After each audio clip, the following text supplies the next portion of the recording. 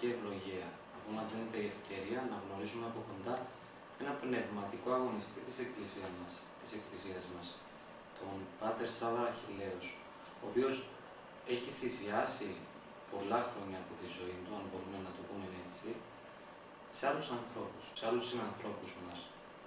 Κάνει εξορκισμούς, έκανε μάλλον εξορκισμούς, βοηθώντας ανθρώπους να αποβάλουν το δαιμόνιο από το οποίο έχουν καταληφθεί. Καταρχήν, Πάτερ Σάβα, να σας ευχαριστήσουμε που μας δεχτήκατε. Και να σας πούμε ότι χαιρόμαστε πάρα πολύ που σας γνωρίζουμε επιτέλους και από κοντά, γιατί ξέρετε στην Κύπρο ε, πολλοί μιλάνε για σας, λίγοι σας γνωρίζουν όμως. Λίγοι έχουν, έχει τύχει να σας γνωρίζουν από κοντά. Λοιπόν,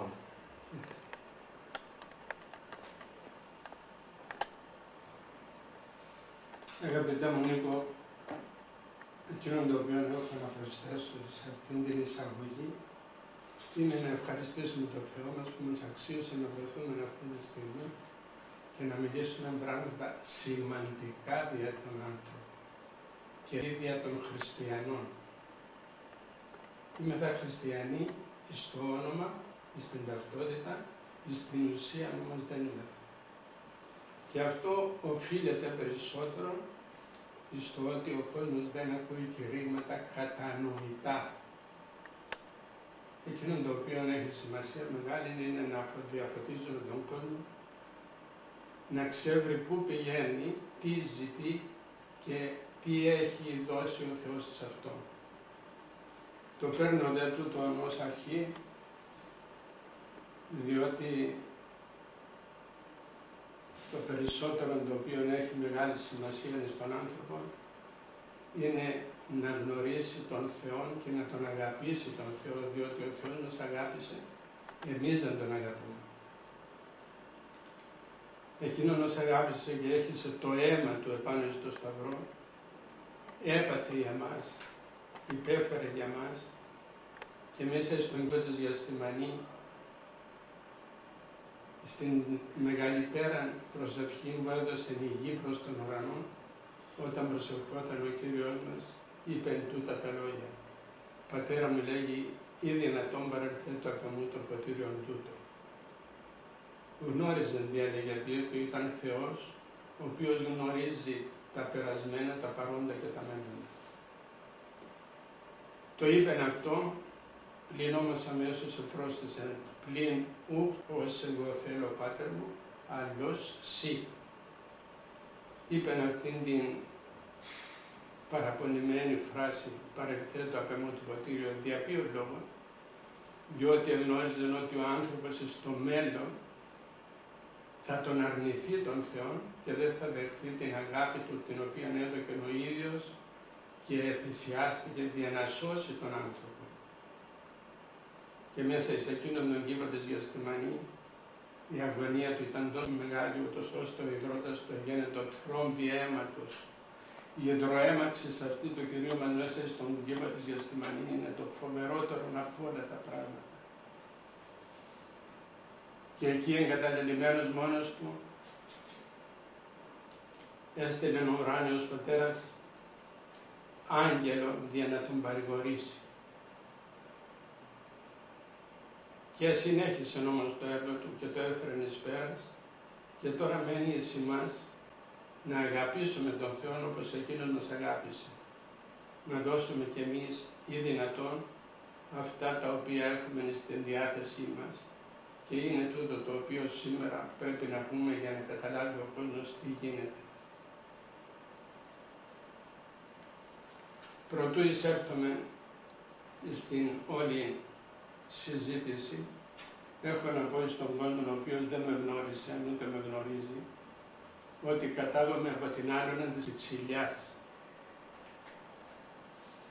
Μεγάλωσα και όταν έφτασα εις νόμιμον ηλικία, υπηρέτησα την πατρίδα μου από το 55 μέχρι το 59, κατακρίμαν από το 54 που προετοιμαζόμαστε μέχρι το 59.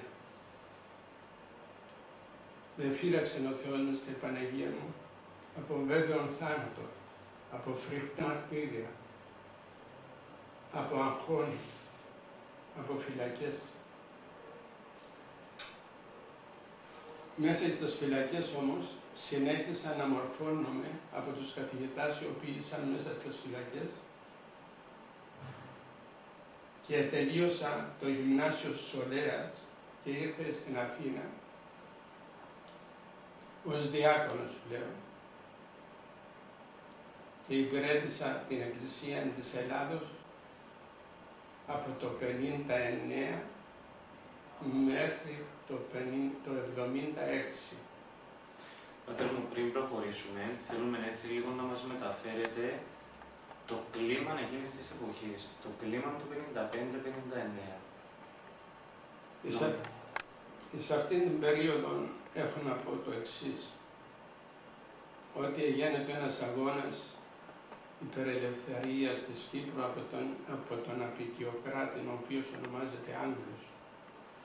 Η απεικιοκράτης σε αυτή η χώρα δεν είχε μόνο την Κύπρο.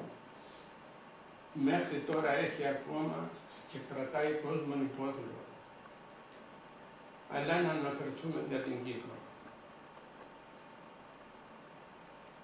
Ο κόσμος ζητούσε την ελευθερία του και όχι μόνο την ελευθερία του, αλλά δια την υπόσχεση την οποία έδωκε ο Τσόρτσι ότι να υπερασπίσετε τον αγώνα εναντίον του Χίτλερ και εμείς μόλις τελειώσει ο αγώνας θα σας δώσουμε την ένωση της Κύπρου με την Ελλάδα. Ψέματα, ψεύστης, ο Θεός με τον ελέγησε εκεί που είναι. Αντί να μας δώσει την ένωση της Κύπρου με την Ελλάδα, μας έβαλε τους Τούρκους μέσα στην Κύπρο, τους Μογγόλους. Δια να εκδικηθεί τον αγώνα τον οποίο έκαναμε και θα αναφερθώ μόνο στα ανακρίσεις τα οποία μου έκανα. Και υπήρχαν όπως αυτή τη στιγμή δύο πίσω μου, δύο μπροστά μου και ένας δίπλα μου ο οποίος κρατούσε την φωτογραφία μου. Και μου έδειχνε και μου έλεγε εσύ είσαι εδώ, δεν είμαι εγώ, απαντούσα. Ε, συνέχισαν απέναντι ο ένας, ο άλλος, τόσο γρήγορα ούτως ώστε ζητούσε να μου φύγει μία λέξη, μόνο μία λέξη. Ένας εξ αυτών είπε, εσείς ομοιάζετε με το καναρίνι. Το καναρίνι όταν είναι κλειστό μέσα στο κλουβί, αν το ανοίξει την πόρτα και φύγει θα δώσει ένα γύρο και θα έρθει να μπει πάλι μέσα στο κλουβί. Εσείς μάθατε να, να είστε μαζί μας. Θέλετε να πάτε με τους φίλους σας στους Καραμαράδες. Θα το πληρώσετε πολύ ακριβά. Και τότε που μας κάνετε τώρα θα μας ζητάτε να έρθουμε πίσω για να κυβερνήσουμε πάλι την Κύπρο. Αυτή η απειλή έγινε του πραγματικότητας και εισήρθαν οι Μογγόλοι μέσα στην Κύπρο ατίμασαν τις μητέρες και τις θυγατέρες, εμόλυναν τους ναούς και τα θυσιαστήρια και τας σμονάς, κατέσφαξαν τον αθώο κόσμο και τώρα αυτή τη στιγμή να βρίσκεται η Κύπρος μέσα σε έναν λαό ο οποίος είναι άγριος και απέδευτος και αιμοχαρής. Πάτε μου πόσο χρόνο ήσασταν τότε στην ΕΟΧΑ. Να πούμε ότι έχετε γράψει και ένα βιβλίο. Ε, το έχουμε εδώ μπροστά μας. Πατρός Σάβα Αχιλέος, από μνημονεύματα, ομάδα Ουρανός. Θέλουμε να μας πείτε και λίγα λόγια για αυτό το βιβλίο. Το έχουμε διαβάσει. Ε, φαίνεται καθαρά ο πόθος σας. Ο πόθος να αγωνιστείτε για την πατρίδα. Όποιος αγωνίζεται, αγαπημένοι μου, λοιπόν, για την επίγειον πατρίδα, αγωνίζεται και για την επουράνιον πατρίδα, την αιωνίαν πατρίδα. Και ο αγώνας αυτός, ο οποίος τον αγάπησα, έδωσα το παν και όταν τελείωσα από εκεί, ήρθα στην Αθήνα τελείωσα τη θεολογία. Μετά από τη θεολογία έφυγα στο Βέλγιο και τελείωσα εκεί σπουδές. Και από εκεί επέστρεψα στην Αθήνα. Τελείωσα τη φιλολογία. Και πήγα και δύο χρόνια στα νομικά. Μετά τα αυτά, η χάρη του Θεού με οδήγησε και ανοιγέρθη ιερός ναός του Αγίου Γεωργίου στην τοποθεσία Καρέα, όπου δεν υπήρχε τίποτε, μόνο ένα δάσος, ένας τόπος ο οποίος ήταν σκουπιδότοπος και εγένετο ο περικαλέστατος ναός του Αγίου Γεωργίου, ο οποίος ήταν διαιρημένος σε τρία μέρη. Πρώτος ναός, δεύτερος ναός και κηλικείο. Μετά τα αυτά προσπάθησα να φέρω εις πέρα στο πνευματικό κέντρο ένα τεράστιο έργο, το οποίο έφτασε μέχρι το τέλος σχεδόν, αλλά δεν προφάσαμε να το τελειώσουμε, διότι ο οικείος Μητροπολίτης είπε ότι ως εκεί ήταν αρκετά ό,τι πρόσφερα. Πριν προχωρήσουμε, θα σας ξαναρωτήσω λίγο, σας παίρνω λίγο πίσω, συγγνώμη. Ε, λίγα πράγματα για το βιβλίο σας θέλουμε να μας πείτε. Να το γνωρίσει και καλύτερα ο κόσμος. Και από ό,τι διαβάσαμε, έχετε γνωρίσει και τους υπόλοιπους ήρωες της ΕΟΚΑ. Θέλω να μας πείτε και λίγα πράγματα για αυτούς και για το βιβλίο. Εγώ ήμουνα μέσα στην μεγάλη αγορά της Λευκοσίας. Εκεί όπως ήμουνα, το μέρος που είχα και πουλούσα λίγες ντομάτες, ε, λίγες πατάτες, λίγα φρούτα κτλ. Ήταν ένα κεντρικό μέρος για τη διανομή όπλων. Με επεσήμαναν δύο μυστικοί πράκτορες, ο ένας Αρτέμις Τσαούρσης και ο άλλος ο Πουλής. Έμπαινα μέσα στο μικρό εκείνο μέρος και έψαχνα και εγώ είχα τα κοφίνια γεμάτα από χερβομβίδες, δυναμίτες, σφαίρες, ε, περίστροφα κτλ. Και από πάνω είχα τις ντομάτες, είχα τα αγκουράκια, είχα οτιδήποτε. Και έψαχναν, έψαχναν, έψαχναν. Μία ημέρα δε ήμουνα έτοιμος, διότι εκεί που ήταν γεμάτο με πυρομαχικά, έφτασε σε ένα σημείο και εγώ τίποτε άλλο δεν έκανα να παρακαλώ την Παναγία μας. Παναγία μου φύλαξε με. Έφτασε ως εκεί ακόμη ένα και θα τα έβρισκε μόνο. Δεν πήγε παρακάτω και έφυγε. Πάντως με είχαν επισημάνει και προσπαθούσαν με κάθε τρόπο να με συλλάβουν και ένα πρωινό τις 3 Οκτωβρίου του 1955 όπως ήμουνα στην παράγκα εκείνη που απολούσα τα πράγματα, ήρθε κοντά μου ένας αστυνομικός ο οποίος συνέβηκε να είναι στη συνεδρίαση να αναφέρουν το όνομά μου και έφυγε με τρόπο και ήρθε και μου λέει «Σήκω φύγε τώρα αμέσως διότι έρχονται να σε συλλάβουν». Έφυγα, τα άφησα όλα και έφυγα. Και όταν έφυγα, συνείδησα το πρόσωπο με το οποίο ήμουν συνδεδεμένος, διότι δεν, δεν γνωρίζαμε τίποτα, μόνο ένα πρόσωπο έπρεπε να γνωρίζουμε. Ήταν ένα λεβεντόπεδο, ο Ιωάννης Δρουσότης, τον οποίο εκαμπάρωνα για την τόλμη του, για την εμπιστοσύνη του, για τον κόπο του, για την προσπάθειά του. Ήταν ένα παιδί το οποίο το αγαπούσα μέσα μου χωρίς να εκδηλώνεται η αγάπη και τώρα τα λέω όλα για αυτό το παιδί. Έφυγα αμέσως, πήγα τον βρήκαμε, μπήκαμε στο αυτοκίνητο και τρέχαμε για να φτάσουμε, να φύγουμε έξω από την Λευκοσία. Φτάσαμε σε ένα σημείο, φορτωθήκαμε όπλα και φύγαμε μέσα από το δάσος και φτάσαμε στον Κύπρο, άγνωστο μέρος για μένα. Μέσα στα δάση, μέσα σε μια εγκατάσταση αγνώριστο, Και από εκεί σταματήσαμε σε μία τατηφόρα και μέσα από τις γατσές βγήκε πρώτα-πρώτα ο Μάρκος Δράκος, ο Μακαρίτης. Και με άλλο σύνθημα βγήκε ο Λεύκιος Οροδοσθένος και με άλλο σύνθημα βγήκε ο Χαράλαμπος Μούσος.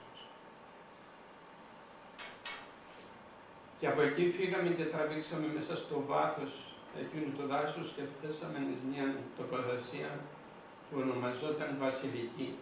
Υπήρχε ένα ναός του Μεγάλου Βασιλείου και έλαβε το όνομα και την τοποθεσία εκείνη. Και από εκεί, αφού συναντηθήκαμε και πήραμε τα όπλα μας, φύγαμε πιο μέσα μέσα στο δάσος και όταν έφτασα σε ένα σημείο ήταν μια λατζά και μέσα στη ρίζα τη υπήρχε μια τρύπα μοναδική για να χωρέσει ένα πλάσμα σέρνοντα να μπει μέσα. Μπήκαμε μέσα, είχε ένα κρυσφύγετο το οποίο ήταν γεμάτο νερό και πάνω από το νερό είχαμε πέτρες και πάνω σε εκείνες τις πέτρες εκοιμόμαστε. Εκεί ήρθε ο Μακαρίτης ο Διγενής και μας βρήκε μέσα στο ίδιο εκείνο κρυσφύγετο αφού πέρασε καιρός αρκετός. Για τον Μακαρίτη τον Δράκον έχω να πω τούτα τα λόγια ότι επρόκειτο περί ενός λαμπρού τέκνου της Ελλάδος, της Κύπρου. Αυτό το παιδί εθυσίασε τα πάντα, ήταν μορφωμένο παιδί, αλλά αφοσιωμένο όμως στην πίστη και στο Χριστό και στην προσευχή. Όταν μας έδωσε το σύνθημα να φύγουμε και να χτυπήσουμε το πρώτο χτύπημα, μας εκάλεσε όλους, σταθήκαμε κάτω από τα πεύκα και απίφθηνε μια θερμοτάτη προσευχή στον Θεό και ξεκινήσαμε. Ήταν μια χειμερινή μέρα, ενθυμούμε εκείνος ο αέρας ήταν παγωμένος, άρχισαν να ψυχαλίζει χιόνι το οποίο έπεφτε πάνω μας. Ο αέρας μας έπαιρνε και μας έβγαλε. Μπήκαμε μέσα σε ένα αυτοκίνητο το οποίο ήρθε από το διπλανό χωριό των Χάμπων της Ακίστρας. Πέσαμε πάνω στο πλάτη του αυτοκινήτου το οποίο είχε πίσω ταμαρίνες. Μας εσκέπασε με ένα μουσαμά και φύγαμε από μέσα στα χωριά των Πεδουλάνων τον Παναγιώτη και κατεβήκαμε στον τόπο που έπρεπε να κάνουμε την ενέδρα. Τι να πω άλλα περισσότερα; Εκείνο το οποίο έχω να πω είναι ότι την ημέρα κατά την οποία ο Μακάριτης ο Δράκος χτυπήθηκε πρώτη φορά, τον εκτύπησε μια σφαίρα πάνω στην κορυφή της κεφαλής και ήρθε με ένα μαντιλάκι μαύρο το οποίο βρέθηκε μία μυστηριώδης γυναίκα στον δρόμο του και έβγαλε το μαντιλάκι το μαύρο που φορούσε και το έδεσε την πηγή και έφυγε. Ένα ερώτημα, ποια ήταν αυτή η γυναίκα μέσα στη μάχη εκείνη, δεν μπορώ να φανταστώ. Παρά μόνο να υποπτευθώ όταν η Παναγία μας ήταν και στάθηκε κοντά του. Ομάδα Ουρανός ο ομάδα ουρανός αποτελείται από 10-12 άτομα πάντοτε, άλλοτε λιγότερα, άλλοτε περισσότερα, με αρχηγόν του Μακαρίτη τον Δράκο.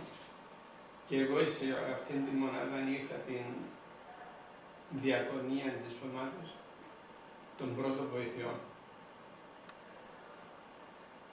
Και πολλάκις βρέθηκα στην ανάγκη να τα βοηθήσω τα παιδιά όταν ο Μακαρίτος ο Μίτης ο Φυρίλδας όταν ήταν σκοπιά με πάτησε πάνω στο περίστροφο του το οποίο κρατούσε και επέρασε η σφαίρα από το χέρι του, έκοψε την αρτηρία και το αίμα έτρεχε όχι να τρέχει αλλά έφευγε ενός πίδακας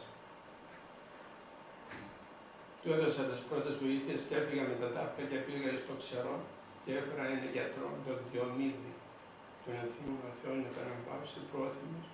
Ήρθε, μου έδωκε τις πρώτες οδηγίες και βοήθησε το παιδί από τη πληγή του. Άλλα τι να έχω να πω. τα έχω γράψει όλα στο βιβλίο αυτό, τα οποία εάν καθίσουμε να τα διηγηθούμε θα περάσουν ώρες πολλές. Το 1974 κάτω πώς σας βρίσκει. Το 1974 με βρήκε στην Ελλάδα.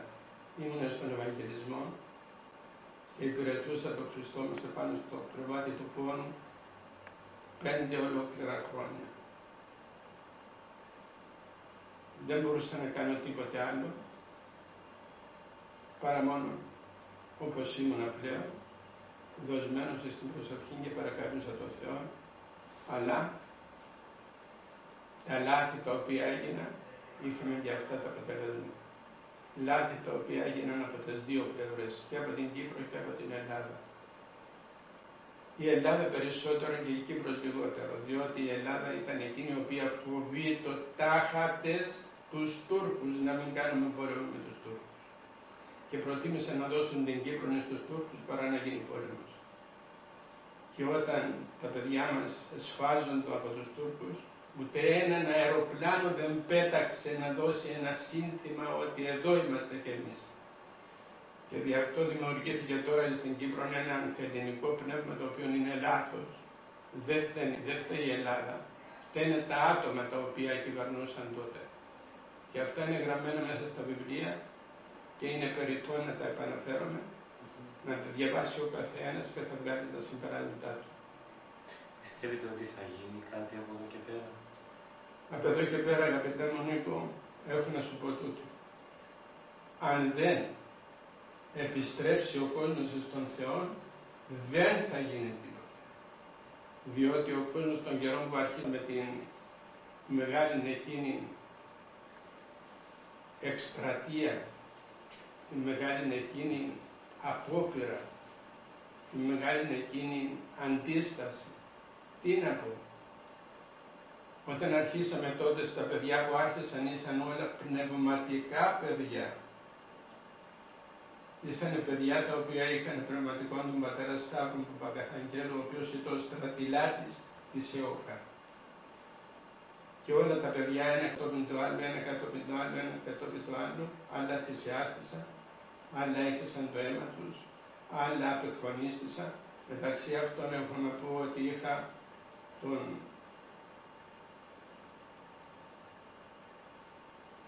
τον Πατάτσο, ο οποίος τον έβαλα στην οργάνωση εγώ, τον όρκεσα εγώ και μου έστειλε και την τελευταία αντεπιστολή την οποία έχω γραμμένη στο βιβλίο. Αυτό το παιδί ήταν αγιασμένο παιδί και αφοσιωμένο στον Θεό, αφοσιωμένο στην πατρίδα αφοσιωμένον στη μανούλα του γιατί ήταν μόνο ένα παιδί, η μανούλα του δεν είχε άλλο και εθυσιάστηκε και έδωκε την ζωή του στην πατρίδα και την ψυχή του στην Βασιλεία των Ουρανών. Πολλοί είναι αυτοί που σήμερα ε, μιλούν για νέους χωρίς δανεικά, χωρίς ήθη, χωρίς αρχές. Εσείς τι πιστεύετε, υπάρχουν σήμερα νέοι όπως τους νέους τότε. Πρέπει να επιστρέψουν, στέλνω το μήνυμα τούτο να με, να με ακούσουν όλα τα παιδιά της Κύπρου. Δεν μας συμφέρει να έχουμε τους Τούρκους επάνω στο κεφάλι μας. Δεν μας συμφέρει να μας πατάς στο σβέρκον ο Τούρκος. Πρέπει να επιστρέψουν όλα τα παιδιά, να μιμηθούν το παράδειγμά μας, να μείνουν πιστά στον Θεό, να ζητήσουν το έλεος του Θεού και όχι να χορεύουν και να διασκεδάζουν, και να κάνουν εκείνα τα οποία κάνουν. Είναι φοβερό πράγμα να ακούεις ότι η Κύπρος έχει 500 άτομα με AIDS. Αυτήν την φοβερή ασθένεια την οποία έπιασαν από τις τουρίστριες και να προσέχουν, να σταθούν στον τόπο τους, να σταθούν να πονήσουν την Κύπρο, να σταθούν να πολεμήσουν και πάλι να αν δοθεί ανάγκη για να φύγει ο Τούρκος. Αλλά ελπίζουμε ότι ο Πανέγαθος Θεός θα μας ελευθερώσει με άλλο τρόπο άλλοι θα μας ελευθερώσουν. Δεν μπορούμε να μην ελευθερωθούμε όπως σήμερα. Όταν λέτε άλλοι. Όταν λέγω άλλους, εννοώ ότι πάνω από την Τουρκία υπάρχει ένα κράτος το οποίο είναι ορθόδοξο, σφόδρα ορθόδοξο. Ένα κράτος το οποίο ομιλεί συνεχώς για τον Θεό, που έχουν αρχηγούς δύο άτομα τα οποία είναι ευεργέτες της Ρωσίας που ονομάζεται Βλαδίμηρος Πούτιν και ο Δημήτριος ο οποίος είναι βοηθός του. Αυτό το κράτος είναι εκείνο που αγάπησε την Κύπρο και την αγαπά και αυτό το κράτος θα την ελευθερώσει. Θα την ελευθερώσει πρώτα ο Θεός και μετά αυτοί οι άνθρωποι που θα τους βοηθήσει. Μας τα λέτε, ε, είναι διορατικότητα, πατέρ μου, ή... Είναι αυτά τα γράφουν οι πατέρες της Εκκλησίας. Ο Άγιος Παΐσιος, ο Άγιος Κοσμάς ο Ετωλός, όλοι οι πατέρες της Εκκλησίας γράφουν αυτά τα λόγια και δεν υπάρχει περίπτωση να είναι λαθασμένα. Θα πάρουμε την Κύπρο, θα πάρουμε την Κωνσταντινούπολη, θα ανάψουμε κεριά στην Αγία Σοφιά και θα χαρούμε και θα λειτουργήσουμε στην Αγία Σοφία. Είναι πράγματα τα οποία θα γίνουν στα ημέρες μας και πρέπει να το γνωρίζουμε αυτό πάρα πολύ καλά, διότι όταν γράφουν οι πατέρες της Εκκλησίας, οι Άγιοι εκείνοι άνθρωποι, δεν έγραφαν λόγια τα οποία δεν έγιναν. Ό,τι είπαν έγιναν και θα γίνουν. Μπορούμε δηλαδή να θέσουμε και χρονικό διάστημα; Όχι, χρονικό διάστημα δεν μπορούμε να πούμε ποτέ μας, διότι τα βουλές του Θεού δεν τι γνωρίζει κανείς, αγαπητέ μου. Βουλέ του Θεού είναι ανεξερεύνητες. Τι έμνομου Κυρίου ή τι έγινε το σύμβολο αυτού. Εκείνο το οποίο ζητεί ο Θεός μας είναι η μετάνοια, διότι το είχα ξαναπεί και το επαναλαμβάνω ότι και πάλι οι Μογγόλοι επάντησαν την Κύπρο και κατέσφαξαν και ατίμαζαν και έκαιγαν και εμόλυναν και έδωσαν ο κόσμος σε μετάνοια και ο Πανέγαθος Θεός επενέβη δια της μετανοίας μας και έβρεξε πυρακτωμένοι χάλαζαν από τον ουρανό και τους εξεδίωξαν στο πι και φύ. Εάν ζητούμε εμείς να διώξουμε τους Τούρκους, όπως σήμερα αυτή τη στιγμή, δεν φεύγουν οι Τούρκοι, χειρότερα θα γίνουν τα πράγματα. Παρακαλώ τα νεαρά τα παιδιά όπου και αν βρίσκονται να σταματήσουν και να δοθούν στην προσευχή όπως θα εμείς τότε, διότι δεν ενικήσαμε την Ελλάδα, την, την Αγγλία εμείς. Εμείς ενικήσαμε με την προσευχή μας μέσα στα βουνά που γονατίζαμε μέσα στο, στα χιόνια και μέσα στους ποταμούς και μέσα στους βάτους και μέσα στα τις δυσκολίες τότε και παρακαλούσαμε τον Θεό μας και ο Θεός μας βοήθησε, η Παναγία μας μας εσκέπασε και έχω να πω μόνο ένα θαύμα το οποίο ήταν χειροπιαστό για μένα μεταξύ των άλλων πολλών, των άλλων πολλών. Έκανε ο Χάρτιν μια επιχείρηση αφού ευεβαιώθηκε ότι το αρχηγείο της ΣΕΟΚΑ ήταν στον Κύπρο και μάζεψε 10.000 στρατών και περικύκλωσε ένα πρωί όλον εκείνο το μέρος γέμισαν τα βουνά σαν τα μυρμήγκια. Οι στρατιώτες περικύκλωσαν τη μονή, δεν μπορούσε κανείς να μπει ούτε να βγει. Και εκείνη την ημέρα περίμενα περίμενα την αλληλογραφία διότι ο Μακάριτης ο Διενής όταν ήταν με το πνεύμα και με το μυαλό και με την εμπειρία του που είχε, αφού μας εκάλεσαν όλα τα παιδιά, με είδαν εμένα και μου λέει έλα παιδί μου εδώ κοντά μου. Θα φύγεις από εδώ, θα πας στη μονή, θα βάλεις ένα ράσο και θα με ειδοποιείς προτού ακόμη βλέπεις τίποτε επικίνδυνο. Μόλις βλέπεις κινήσεις, αμέσως θα με ειδοποιήσει. Και αν με ειδοποιήσεις νωρίς, εγώ θα γλιτώσω. Εάν δεν με ειδοποιήσεις, εγώ θα σκοτωθώ και ο αγώνας θα χαθεί. Μου έδωσε μια ευθύνη τεραστία και την ημέρα εκείνη που περικεκλώθηκε όλη η περιοχή και η μονή της Παναγίας μας, περίμενα την αλληλογραφία την οποία μου έφερε ένα εκλεκτό πλάσμα από το ξερό Χριστόδουλος Εγγλέζος. Αυτό το πλάσμα το σκότωσαν οι προδότες με τη συνεργία των άλλων. και μέσα σε εκείνον όλα, όλα τα μπλόκα εκείνα, πώς έφτασαν εκείνο το πλάσμα και εγώ περίμενα.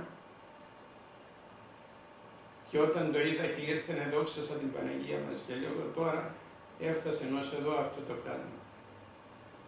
Οι στρατιώτες ήταν ο ένας κοντά στον άλλον όπως είμαστε εμείς τώρα αυτή τη στιγμή. Και πήρε εκείνος ο άνθρωπος ένα τεράστιο φάκελο φανερά στο χέρι του και με τον ενεχείρισε. Όταν τον επήρα εγώ, πέρασα από μέσα από τους στρατιώτες. Διέσχισα τους στρατιώτες. Και λέγω τώρα η ευθύνη είναι δική μου. Εκείνος έφερε ως εδώ την αλληλογραφία εγώ για να τη στείλω. Πώς θα τη στείλω. Πήρα την αλληλογραφία, το φάκελο εκείνο, τον ογκώδη φάκελο, και η μόνη μου σκέψη ήταν να μπω στην εκκλησία. Αν πήγα στην εκκλησία και λέω τώρα πού να την κρύψω; Και όπως γύριζα δεξιά και αριστερά μέσα στον ναό, άκουσα μία φωνή από το μέρος που είναι οι εικόνες που προσκυνούμε από το τέλος του ναού. Κοίταξα και είδα την εικόνα της Παναγίας μας, έτρεξα κοντά της, προσκύνησα γιατί μου είπε εδώ παιδί μου. Άκουσα τη φωνούλα της που μου είπε εδώ παιδί μου. Και όταν πήγα και προσκύνησα, ψήλωσε τα μάτια μου και είδα πάνω από την εικόνα της Παναγίας μία κρύπτη που δεν την είδα ως εκείνη τη στιγμή. Έβαλα μία καρέκλα, έβαλα εκεί τον, τον ογκώδη φάκελο, κατέβηκα και μόλις κατέβηκα μπήκαν οι άγγελοι. Ακόμη ένα δευτερόλεπτο θα με είδαν, θα με έβλεπα σκαφαδεμένον εκεί. Με είδαν στην εκκλησία μονάχο μου, με πιάσανε, με δέσανε, με βάλανε στον τοίχο, σηκώσανε όλους τους κάμους, βάλανε τους σκύλους από την ωραία πύλη μέσα στην Αγία Τράπεζα, κάτω από την Αγία Τράπεζα, βεβήλωσαν εκείνο το μέρος και εγώ περίμενα και έλεγα Παναγία μου πώς ανέχεσαι αυτό το πράγμα. Δεν θα περάσει καιρός, έλεγα, δεν θα περάσει χρόνο, δεν θα περάσουν ώρες και θα τιμωρηθούν από την Παναγία μας. Και όντως, όπως ήταν περικεκλωμένο όλο το μέρος από το μονοπάτι που φεύγαμε εμείς και πηγαίναμε στο Κρυσφύγετο, είδα μια γυναίκα μαυροφορεμένη πάνω σε ένα γαϊδουράκι και πήγαινε από το ίδιο μονοπάτι και συγκέντρωσαν όλο το στρατό προς το μέρος εκείνο. Και άρχισε η έρευνα να ερευνούν και φτάσανε στον ποταμό, ο οποίος χώριζε το ένα βουνό από την μια μεριά και το άλλο βουνό από την άλλη. Στο ένα μέρος είναι το βρυσίν της Παναγίας μας και το άλλο είναι το θρονί της Παναγίας μας. Και όταν έφτασαν στον ποταμό με τους σκύλους δεν περνούσαν οι σκύλοι απέναντι. Και διέταξε ο υπεύθυνο αξιωματικό να βάλει φωτιά αν είναι το το τέχνασμα το οποίο χρησιμοποιούν όταν δεν έχουν ανδρεία πάνω τους. Αυτό το έκαναν και στο Μακαρίτη τον Γρηγόρη τον Αψαντίο, που τον έκαψαν μέσα στο Χρυσφύγετο. Εδώ όμως τα πράγματα ήταν διαφορετικά. Έβαλαν τη φωτιά στο δάσος που είδαν την μαυροφορεμένη εκείνη γυναίκα και άναψε πραγματικά σαν καμίνι αναμένο ολόκληρο το μέρος εκείνο και αυτοί αγκαλιάζονταν ο ένας με τον άλλον ότι πετύχαν να μας κάψουν. Είπαν να καεί αυτή η γυναίκα και να καεί και ο Διγενής γιατί αυτή παίρνει πληροφορίες εκεί. Και όπως ήσαν χαρούμενοι πετάχτηκε ένα να το πούμε στη γλώσσα της Κύπρου, ένας πέμπετσος αναμένος πετάχτηκε πάνω στο πεύκο και έπεσαν εκεί που ήσαν όλοι μαζεμένοι οι στρατιώτες και πήραν αμέσως φωτιά το δάσος που ήσαν που βρίσκονται εκεί.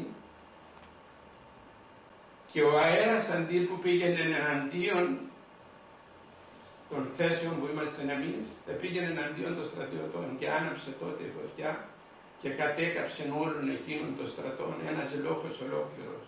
Το είχε μαρτυρήσει εκείνος που εσώθηκε. Παραπάνω ήταν τα αυτοκίνητα, τα στρατιωτικά γεμάτα,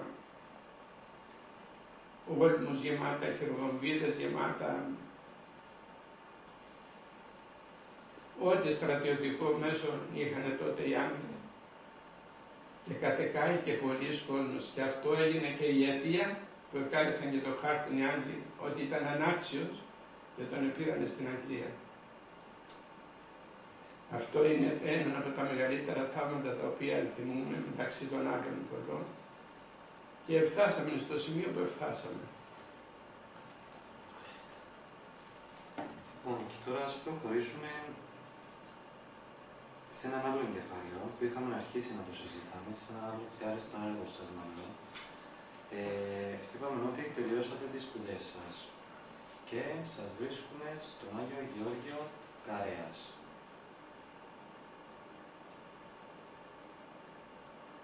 Όταν ήμουν στον Ευαγγελισμό,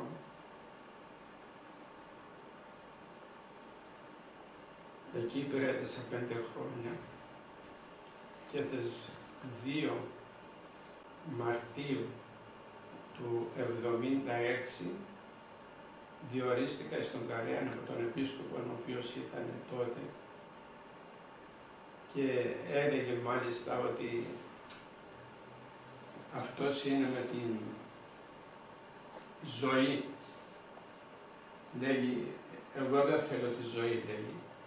Και με κάλεσαν εκεί και μου λέει, άκουσε όταν μάθω ότι είσαι με τη ζωή, λέει, θα σου πω ότι δεν μπορούμε να συνεργαστούμε.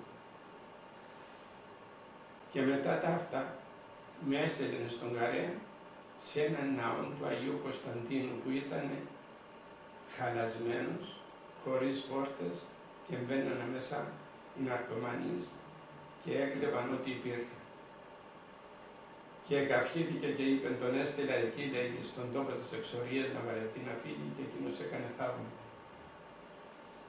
Και ότι από εκεί από τον Άγιο Κωνσταντίνο μετά προσπάθησα και με τη χάρη του Θεού και την Παναγία μας και του Αγίου Γεωργίου ευτίστηκε ο ναός του Αγίου Γεωργίου. Και από τότε που ήμουν εκεί ο κόσμος μαζευόταν και εγώ τους διέβαζα και με τη βοήθεια του Θεού μας, της Παναγίας μας, του Αγίου Γεωργίου και του κόσμου και τελευταία εγώ, με τη χάρη του Θεού, χτίστηκε ένας πανέμορφος ναός, ένας περικαλέστατος ναός, πρώτος ναός πάνω, δεύτερος κάτω και ένα κηδικείο μεγάλο. Και φτάσαμε και στο σημείο να χτίσουμε ένα πνευματικό κέντρο το οποίο έφτασε στο τέλος του, αλλά έμεινε ως εκεί και έμεινε, ούτε προχώρησε ούτε προχωρεί. Εκεί έρχονταν ο κόσμος πολλής, πάρα πολλής κόσμος, ο οποίος ήταν πονεμένος κόσμος. Τόσο πολλής πόνος υπήρχε που έβλεπες όλον εκείνο τον κόσμο με τα άκρια, με τα αίματα, με έρχονται γονατιστοί να σέρνονται και εγώ διέβαζα από το πρωί μέχρι το βράδυ και από το βράδυ μέχρι το πρωί χωρίς να σταματήσω. Γονατιστός παρακαλούσα τον Θεό. Και σώθηκε πολλοί κόσμος, ιατρεύτηκε πολλοί κόσμος, ελευθερώθηκε πολλοί κόσμος, παρηγορήθηκε πολλοί κόσμος. Θα θέλουμε να τα πάρουμε λίγο από την αρχή. Καταρχήν, και ο κόσμος που μας ακούει θέλει να μάθει τι είναι το δαιμονίο πρώτα-πρώτα να ξέρουμε ότι έχουμε έναν εχθρό. Ο αόρατος εχθρός αυτός είναι προ Χριστού, από καταβολή κόσμου, από μέσα στον παράδεισο. Όταν ηθέλησε ο διάβολος το τάγμα του διαβόλου, ο αρχηγός, ο οποίος ονομάζεται ο Φόρος, αυτός ήθελε να ανέβει πάνω από τον Θεό και μόλις συνέλαβε αυτή τη σκέψη, μόλις συνέλαβε, μόλις το εμφανίστε βέβαια είναι ένα μυστήριο που βρέθηκε η αμαρτία, εφόσον αμαρτία δεν υπήρχε. Τα τάγματα του, του ουρανού ήσαν δέκα, τα οποία δημιούργησε ο Θεός. Δέκα τάγματα. Και υπάρχουν αρχηγοί, ο Μιχαήλ, Γαβριέλ, Ραφαήλ, Ουρεήλ, αυτούς γνωρίζουμε, υπήρχε και ο Ιωσφόρος, ο οποίος ήταν ο ωραιότερος των αγγέλων. Εάν οι άγγελοι είναι ωραίοι, φανταστείτε αυτός να είναι ωραιότερος από τους ωραίους. Και όμως μόλις συνέλαβε την σκέψη να ανέβει πάνω από το Θεό με την υπερηφάνειά του, διότι ήταν ελεύθερος ο άνθρωπος, ελεύθεροι οι άγγελοι, ελεύθερος μέχρι τώρα ο καθένας μας. Η ελευθερία είναι το μεγαλύτερο δώρο που εχάρισε ο Θεός στον άνθρωπο. Και γι' αυτό είπε, όστις θέλει ο πίσω μου έρθει, όποιος θέλει να με ακολουθήσει. Δεν αναγκάζω κανένα. Όταν λοιπόν ο διάβολος, εννοεί το άγγελος, έγινε το, ο ασχημότερος των δημιουργημάτων του Θεού. Ο ωραιότερος των αγγέλων έγινε το σκοτεινότερο πνεύμα το οποίο δημιούργησε ο Θεός. Και έπεσε από τους ουρανούς, ο διάβολος, όσα αστραπή εθεώρουν τον σατανάν, όσα αστραπή του ουρανού πεσόντα, λέγει η Αγία Γραφή. Αυτό το τάγμα ήταν τόσο μεγάλο που έμεινε το μισόνι στον αέρα, το άλλο μισόνι στην γη να βασανίζει τον κόσμο και το άλλο μισόνι στην κόραση για να βασανίζει τους κολλασμένους. Από εδώ παρακολουθούμε ότι ο διάβολος πλέον άρχισε έναν πόλεμο τεράστιο εναντίον Θεού, ο οποίος είναι παντοδύναμος, και εναντίον του δημιουργήματος του Θεού που είναι ο άνθρωπος. Και πλανεί τον άνθρωπο. Είναι ο πλάνος ο οποίος με τας μεθοδίας του και με τας διαβολάς του και με το ψέμα του, διότι έγινε πηγή του ψεύδους, οδηγεί τον άνθρωπο στην παρανομία, δηλαδή εναντίον του Θεού. Όταν αυτό το τάγμα το οποίο εξέπεσε από τους ουρανούς συμπληρωθεί με εκείνους οι οποίοι αγωνίζονται στον κόσμο του και θέλουν να σωθούν, όταν συμπληρωθεί αυτό το τάγμα, τότε θα έρθει η Δευτέρα του Χριστού παρουσία. Θα μου πείτε ακόμη τόσοι αιώνες πέρασαν και δεν γέμισε αυτό το τάγμα το οποίο εκενώθηκε. Μάλιστα. Δεν έχει γεμίσει ακόμη. Δεν επληρώθηκε ακόμη. Εδώ υπάρχουν μάρτυρες όσοι οι ασκητές, αναπορητές, μεγαλομάρτυρες, άνθρωποι δίκαιοι, άνθρωποι αγωνιστές. Δεν γέμισε ακόμη, δεν συμπληρώθηκε ακόμη το κενό του ουρανού. Και όμως σε αυτό το σημείο θα σας ρωτήσω, πολλές γυναίκες μας παίρνουν και ρωτάνε τα, τα βρέφη, τα οποία δεν προλαβαίνουν να τα βαφτίσουν στην εκκλησία και πεθαίνουν μόλις γεννηθούν. Ναι, τότε είναι ένα ερώτημα πολύ σοβαρό, διότι είναι μέσα στη ψυχή του κόσμου. Εάν το μωρό εκείνο το βρέφος ε, αποβληθεί από τη μητέρα του, χωρίς η μητέρα να φταίει, διότι τα, η ενοχή της μητέρας είναι σε πολλά μέρη. Εάν σηκώσει βάρος, εάν γλιστρήσει, εάν χτυπήσει και το έμβριο εκείνο πεθάνει, τότε έχει την ευθύνη, η μητέρα. Εάν όμως ο Πανάγαθος Θεός διαλόγους τους ειδικούς του, είτε δια των αρτιών μας, είτε δια των ειδικών μας παραπτωμάτων, τότε ο Πανάγαθος Θεός αυτά τα βρέφη θα τα κατατάξει σύμφωνα με τις βουλές του που έχει ο Θεός. Υπάρχουν όμως κάτι άλλα βρέφη, τα οποία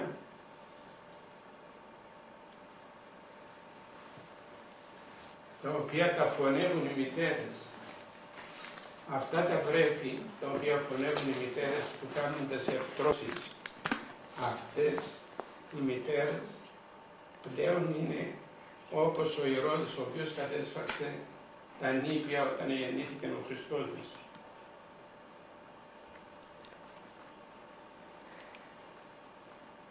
Αυτά τα βρέφη τα οποία σκοτώνουν οι μητέρες βαφτίζονται στο αίμα τους. Γίνεται βάφτισης μέσα στην κυρία της μητέρας, διότι η μητέρα γίνεται φώνησα πλέον και το τέκνον αυτό το οποίο φωνεύει είναι με εκείνα τα νήπια που εσκότωσε ο Ηρώδης, που κατέσφαξε ο Ηρώδης τα νήπια για να σφάξει τον Χριστό. Και είναι φοβερό το αμάρτημα των μητέρων αυτών, οι οποίες προβαίνουν σε εκτρώσεις. Είναι τόσο φοβερό το αμάρτημα που φωνεύει δυο φορές εκείνο το βρέφος. Ένα γιατί δεν είδε το φως και ένα γιατί δεν βαπτίστηκε. Τα άλλα τα βρέφη τα οποία πεθαίνουν στη μικρά ηλικία πρέπει να γνωρίζουν οι μητέρες ότι εάν βρεθεί σε κίνδυνο το παιδάκι, να το βαφτίσει οποιοδήποτε βρεθεί την ώρα εκείνη. Αν είναι ο πατέρας, να το βαφτίσει ο πατέρας στον αέρα και να πει στο όνομα του Πατρός και του Ιού και του Αγίου Πνεύματος και το όνομα και αν ζήσει θα τα συμπληρώσει μετά η Εκκλησία από ό,τι απέμεινε. Εάν όμως η μητέρα δεν δώσει προσοχή και πεθάνει το μωρό της αβάφτιστο, λέει ο Άγιος Κοσμάς ο Ετωλός ότι συμφέρει λέγει στη μάνα εκείνη και στον πατέρα εκείνο λέγει στους γονείς να φωνεύσουν εκατόν βαφτισμένους παρά να τους πεθάνει ένα μωρό αβάφτιστο. Είναι τόσο μεγάλο το αμάρτημα, ούτως ώστε πρέπει να προσέχουν οι μητέρες να βαφτίζουν τα μωρά τους όσο το δυνατό πιο γρήγορα. Μόλις σαραντήσει να το βάλουν και στην κολυβήθρα για να είναι ήσυχες.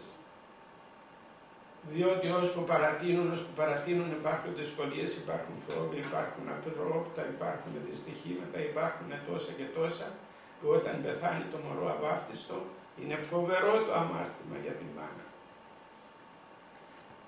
Όταν βαπτιστεί γρήγορα το μωρό, στις 40 μέρες που εκκλησιάζεται πλέον και παίρνει το όνομα, αμέσως αν είναι δυνατόν να το βάλεις στην κολυμπήθρα, διότι μετά το μωρό ούτε κλαίει, ούτε φωνάζει, ούτε ανησυχεί, μόνο κοιμάται και τρώει, κοιμάται και τρώει και μεγαλώνει όπως μεγαλώνει το μανιτάρι το οποίο το βλέπεις και μετά φεύγει από τη γη και ψηλώνει. Είναι ένα σημείο, μια λεπτομέρεια την οποία πρέπει να προσέχουν οι μητέρες και να το εφαρμόσουν. Και τώρα ας προχωρήσουμε ε, με το θέμα που μας είπατε, μας εξηγήσετε ε, τι είναι το δαιμόνιο που καταβάλει τους ανθρώπους. Το δαιμόνιο το οποίο έπεσαν από τους ουρανούς κατατρέχει το χτίσμα του Θεού που είναι ο άνθρωπος. Πλην όμως δεν μένει ως εδώ. Ο άνθρωπος βασανίζεται από το δαίμονα και μπαίνει μέσα στον άνθρωπο και του δίδει πνεύμα ζήλιας, φθόνου, εκδικήσεως. Και πού καταφεύγει ο άνθρωπος για να εκδικηθεί το συνάνθρωπό του. Δηλαδή, ο γείτονας δεν πρέπει να δει το γείτονά του και περισσότερο να αναφέρουμε για τις γυναίκες, οι γυναίκες, οι οποίες θέλουν να εκδικηθούν. Και όταν ο γείτονας θέλει να παντρέψει το παιδί του, αμέσως αυτές οι γυναίκες για να εκδικηθούν τον γείτονα γιατί θέλει να παντρέψει το παιδί του, καταφέρει στους μάγους και διαλύεται χωρίς να περιμένει ο αραβώνας. Ένα μυστήριο πράγμα. Εάν εργάζεται ο γείτονας και έχει ένα κατάστημα και προχωρούν οι δουλειές του, τότε προβαίνει ο διπλανός και κάνει μαγείες να κλείσει το κατάστημα. Εάν έχει εργασία, να κλείσει η εργασία του. Αν έχει χρήματα, να φύγουν τα χρήματα από πάνω του. Να πούμε ότι και στα άτομα που καταφεύγουν ε, στους διάφορους μάγους, στις χαρτορίχτρες, και σε όλους τους ανθρώπους αυτού του είδους ότι μας είχαν εξηγήσει ότι μπορούν αυτοί οι άνθρωποι να μεταφέρουν τα δαιμόνια σε έναν άνθρωπο που πάει να ζητήσει τη βοήθεια ενός μάγου. Ο άνθρωπος ο οποίος καταφεύγει στους μάγους καταφεύγει πρώτα στον δαίμονα και κάνει υπογραφή με το αίμα του. Υπογράφει με το αίμα του ότι θα υπηρετήσεις σε μένα και φωνάζει ο σατανάς και λέει τώρα θα σε υπηρετώ εσένα αλλά όταν θα έρθει η στιγμή θα υπηρετήσει σε μένα του λέει. Γι' αυτό πρέπει να γνωρίζουν όσοι ανεκατεύονται με τους μάγους ότι η τελική τους ε, κατάστασης είναι η κόραση. Ε, θυμούμαι αγαπητέ μου Νίκο, ότι έβλεπα τα παιδιά του Θεού που ερχόντουσαν αιματοκυλισμένα, αιματοβαμμένα, με πληγές, με πόνο. Και εγώ δεν αντέχα. Και όπως τα διέβαζα τα παιδιά, καταρώμουνα τους μάγους. Και μία ημέρα όπως διέβαζα ένα παιδί που ήταν άρρωστο, γύρισε και μου λέει, άκουσε ρε Σάβα, δεν είναι συμφέρον μου να σου πω τίποτα, αλλά με χτυπάει ατλύπητα εκείνη, εννοεί την Παναγία μας, και μου λέγει να σου πω τούτα τα λόγια. Μου είπε να σου πω άλλη φορά να μην κατάρξε τους μάγους, γιατί αν εκείνη κλαίει για σας μια φορά, για τους μάγους κλαίει δυο φορές γιατί ξέρει που θα πάνε. Δηλαδή η κατοικία τους όποια ανακατεύονται με τους μάγους, με τα μάγισσες, με τους ε, χαρτορίχτρες, με τις φλιτζανούδες, με, τις, με τους τσιγκάνους κτλ. Να ξέρουν ότι το τελικό πάτημα που θα έχουν είναι η κόλαση. Και να προσέξουν να πετυχούν και να μετανοήσουν όσες νεκατεύονται με τους μάγους και με τα μαγικά να φτάσουν σε ένα πνευματικό, να εξομολογηθούν, να τους συγχωρέσει και άλλη φορά να μην προσκάλουν τους δαίμονες, διότι έχουμε το μέγα παράδειγμα το οποίο είναι ο Άγιος Κυπριανός που προσπαθούσε να μεταπίσει την Ιουστίνη να φύγει να γίνει σύζυγος ενός το πάρκι που υπήρχε τότε. Και ο Άγιος Κυπριανός ομολογεί και λέει ότι εγώ τίποτε άλλο δεν έκανα μόνο να κρατώ τα νέφη να μην βρέχουν, να δένω τη γη να μην τη καρπούς, να δένω τον κόσμο με τα κόκαλα, με τις αλυσίδες, με, με τα λεμόνια, με το μελάνι, με το τόσα και τόσα, αναφέρει ο Άγιος Κυπριανός. Δεν τον άνθρωπο να μην εργάζεται, δεν είναι τον άνθρωπο να μην του μένουν χρήματα, να κλείσει η δουλειά του, να διώξει τα παιδιά του μακριά να μην τα βλέπει, να διαλύει τα ανδρόγυνα, να διαλύει τα αδέρφια, να έχουν αφιλείο τον έχθρα και ούτω καθεξής. Αυτά είναι τόσα πολλά τα οποία ακριβώς τα συνήντεσα και έχω την πείρα αυτή το τι έβλεπαν τα μάτια μου και τι άκουγα. Ε, θυμούμαι μια περίπτωση όμως αγαπητέ μου Νίκο, την οποία πρέπει να επισημάνω. Όταν ο Πανέγαθος Θεός εξεδίωκε τα δαιμόνια, εκάλεσε λέγει τους 12 μαθητάς αυτού και έδωκε αυτής εξουσία κατά πνευμάτων ακαθάρτων, ώστε αυτά εκβάλλει και θεραπεύει πάσα νόσο και πάσα μαλακία.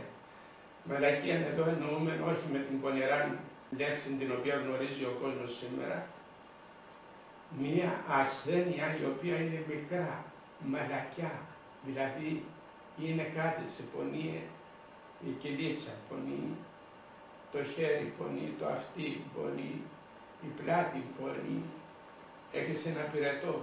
Αυτό η Αγία Γραφή το ονομάζει μαλακία. Πάσα νόσο και πάσα μαλακία λέει.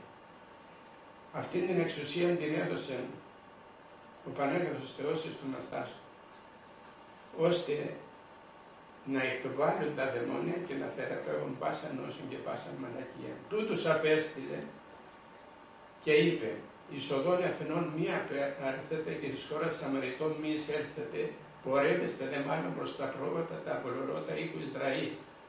Πορευόμενοι δε κηρύσσετε λέγοντας ότι ήγηκε η βασιλεία των ουρανών. Ασθενούντας θεραπεύεται, λεπρούς καθαρίζεται, νεκρούς εγείρεται, δαιμόνια εκβάλλεται, δωρεάν ελάβετε, δωρεάν τότε. Όταν εκάλεσε τους 12 μαθητάς, εκάλεσε και τον Ιούδα παρακάτω. του έδωσε και εκείνο την ίδια εξουσία. Δηλαδή, αυτή τη στιγμή πρέπει να γνωρίζουμε ότι οι ιερείς έχουν καθήκον οπωσδήποτε να βοηθούν τον κόσμο και να μην καταδιώκονται από τους προϊσταμένους των, διότι είναι κρίμα μεγάλο. Ο κάθε ένας ο οποίος έλαβε το χάρισμα της ιεροσύνης έλαβε και το χάρισμα να εκβάλει δαιμόνια. Να πω ένα περιστατικό για να συλλειτουργεί. Λέγω, ήρθαν αυτά τα πλάσματα να συμπροσευχηθούμε για αυτά τα πονεμένα τα πλάσματα. Μόλις όμως άρχισαν τα δαιμόνια και φώναζαν και έκαναν κινήσεις της σχολάσεως, αυτοί οι τρεις ένας κατόπιν του άλλου έφυγαν. Όταν έφυγαν, πετάγεται ένας δαίμονας και λέει «Κοίταξε, λέγει, στρατιώτες που έβαλε να μας πολεμήσουν, λέγει, μόλις μας πήραν μυρωδιά το βάλανε στα πόδια, λέει. Αχ και να ξέβρατε λέγει τι σας χάρισαν εκείνος από ψηλά και κάνατε το καθήκον σας, εμείς τα παίρναμε τα όρη και τα βουνά. Τι θέλει να πούμε αυτά αγαπητέ μου. Ότι ο, ο, ο λειτουργός του Θεού χρειάζεται να έχει και κάτι άλλο. Την πίστη και παρακάτω την καθαρότητα. Διότι τα δαιμόνια έχουν τη δυνατότητα να αποκαλύπτουν όταν βιαστούν και φτάσουν σε ένα σημείο, αμέσως λέει τώρα θα σου τα φανερώσω, θα σου τα πω όλα τώρα. Και οι περισσότεροι φοβούνται από πολλές περιπτώσεις. Ήρθε ο Παναγαθός Θεός να έχει λειτουργούς οι οποίοι να έχουν τη δύναμη, την καθαρότητα, την πίστη να πολεμήσουν στήθος με στήθος τον διάβολο. Διότι το να πολεμάς τον διάβολο με, την, με τη Θεία Λειτουργία είναι καλό με το μυστήριο του γάμου είναι καλό. Με το μυστήριο της βαπτίσεως είναι καλό. Με ευχές οι οποίες τέλος πάντων είναι επιτίδιες για το κάθε πράγμα είναι καλό. Το να πολεμήσεις όμως στήθος με στήθος, εδώ είναι το κυριότερο.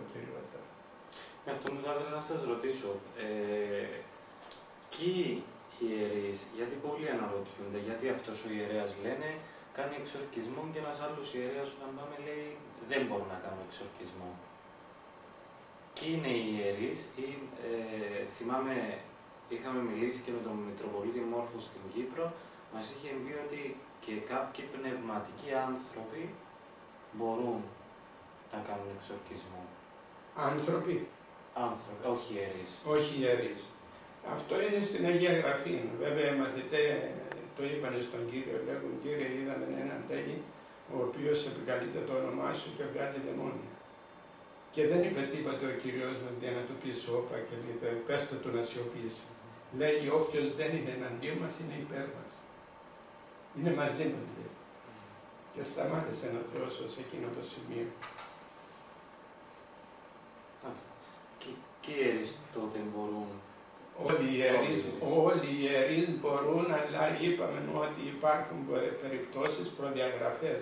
Εάν δεν υπάρχει η πίστη πρώτα, εάν δεν υπάρχει η αφιλαργυρία δεύτερον, αν δεν υπάρχει η καθαρότητα στο το, το βαθύ βαθύ, δεν μπορεί να κάνει το δουλειά αυτό.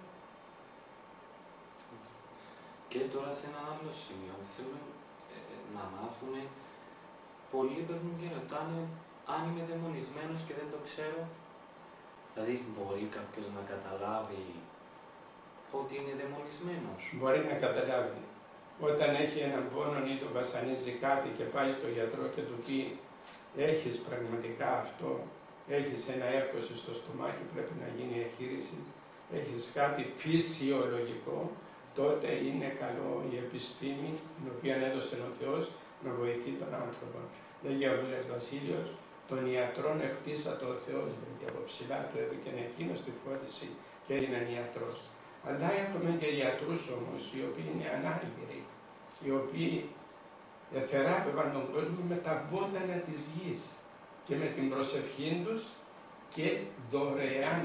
Τούτο το τονίζω ιδιαίτερα. Δεν μπορείς να διαβάσεις ένα πλάσμα να φύγει το δαιμόνιο από πάνω του και να σου δώσει χρήματα και να τα πάρει. Είναι έχασες αμέσως το μισθό σου, έχασες και τη χάρη με τον Θεό. Οι Άγιοι Ανάργυροι θεράπευαν τον κόσμο χωρίς να χρησιμοποιήσουν τίποτε άλλο από τα χημικά φάρμακα τα οποία έχουμε σήμερα. Δεν είχαν τότε. Έτρεχε ο κόσμος σε αυτούς και θεραπεύεται, γι' αυτό και ονομάστησαν ανάγκηροι, διότι δεν έπαιρναν τίποτε χρήματα από τον κόσμο.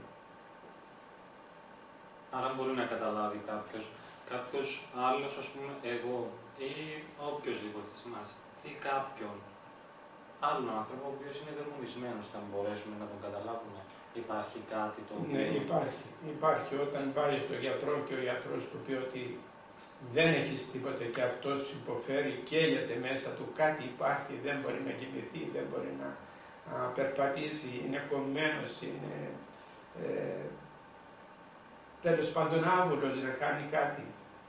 Αυτός πρέπει να καταφύγει στον ιερέα. Όταν καταφύγει στον ιερέα και ο ιερεύς είναι ε, με τη χάρη του Θεού δοσμένος στην διακονία αυτήν της Εκκλησίας, τότε μόλις βάλει το Άγιο Πετραχίλι πάνω του, πετάγεται όπως πετάγεται με αυτό το τερφασικό ρεύμα. Αρχίζει και χτυπάει, αρχίζει και ε, επιτίθεται, αρχίζει πολλές φορές εμένα με πετέθησαν, πολλές φορές. Μου έσχεσαν το ράσο μου, μου μπαίνανε τα γεννάκια μου, μου φώναζαν. Τι τα θέλεις βρε τα γένια, τι θα έρθει, κόψε τα βρε. Δεν βλέπεις τους άλλους που τους έκανα κούκλους. Κόψε τα κι εσύ, τι θέλεις και τα έχεις. Ένα σύνθημα του μεγάλου πρέπει να το προσέξουμε ιδιαίτερα, διότι ο ιερεύς δεν αισθάθηκε για να έχει κοσμική ζωή.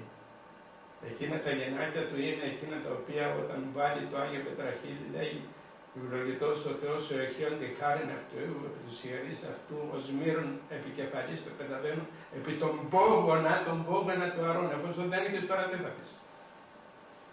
Εδώ είναι το θέμα. Θα μου πούν τώρα οι αδερφοί που ακούνε, θα μου πούν τι κάνει, τι λέει αυτός ο παπάς, τι λέει. Λέω το αυτό που λέει η Αγία Γραφή, που λέει ο Θεός, δεν λέω τίποτε άλλο. Δεν σε αναγκάζω, δεν σου λέω κάνει έτσι, κάνει έτσι. Είσαι ελεύθερο να κάνεις ό,τι θέλεις, αλλά έχεις και τον πονερόν ο οποίος φωνάζει. Σε κανένα κούκλο βρε τους, σε κανένα κούκλο αυτούς. Λένε πολύ ότι όταν ε, μπει ο πονηρός μέσα τους, όταν πηγαίνουν στην εκκλησία, όταν πάνε να μπουν στην εκκλησία, δεν αντέχουν. Δεν μπαίνουν μέσα στην εκκλησία. Δεν μπαίνουν μέσα στην εκκλησία, μόλις τον από μακριά ότι έκανα μία βάφτιση 7 χρονών παιδάκι, το οποίο όταν εμφανίστηκε στην οδό που ήταν η εκκλησία, ήταν στο Βέλγιο αυτή η υπόθεση, όταν ήρθε στην οδό που ήταν η εκκλησία, προσπαθούσε να φύγει από τα χέρια των γονέων, των, των γονέων του κτλ. Και όταν πήγε να μπει μέσα στο, στην πόρτα της εκκλησίας, δεν μπορούσαν με κανένα τρόπο. Και φτάνει τέλος πάντων, τον φτάσανε και άρχισα εγώ να διαβάζω τους εξορχισμούς Φτάσαμε στην Κολυμβήθρα. Πάμε το πανέμορφο στην Κολυμβήθρα, πού να μπεις στην Κολυμβήθρα. Ε, πέτυχα και του έβαλα το ένα πόδι, το άλλο ήταν έξω. Τέλος πάντων, έτσι, με μια κίνηση, 7 χρονών τώρα. Το πιάνω αμέσως πάνω στο όνομα του πατρός και του ιού και του Αγίου Πνεύματος, βγήκε και με αγκάλιασε. Δεν με στην αγκάλια. Ποιο αυτό το θηρίο. Ήταν μέσα το ολόκληρο η λεγεώνα Άρα να πούμε σε αυτό το σημείο ότι ο διάβολος δεν ξεχωρίζει άτομα, δεν ε, ξεχωρίζει ηλικίες. Δεν ξεχωρίζει και το, και το, έχουμε, το έχουμε παράδειγμα από τον Ιώβ. Όταν τρέχεις στο Θεό και του λέει να μου επιτρέψεις, αυτή η λέξη είναι φοβερή, να μου επιτρέψεις λέει να το επιτεθώ. Πάει την πρώτη φορά, επιστρέφει δεύτερη φορά πάλι. Και του λέει ο Θεός, τι γυρεύεις εσύ εδώ; Και είναι ο αρχιτουρίστας του κόσμου.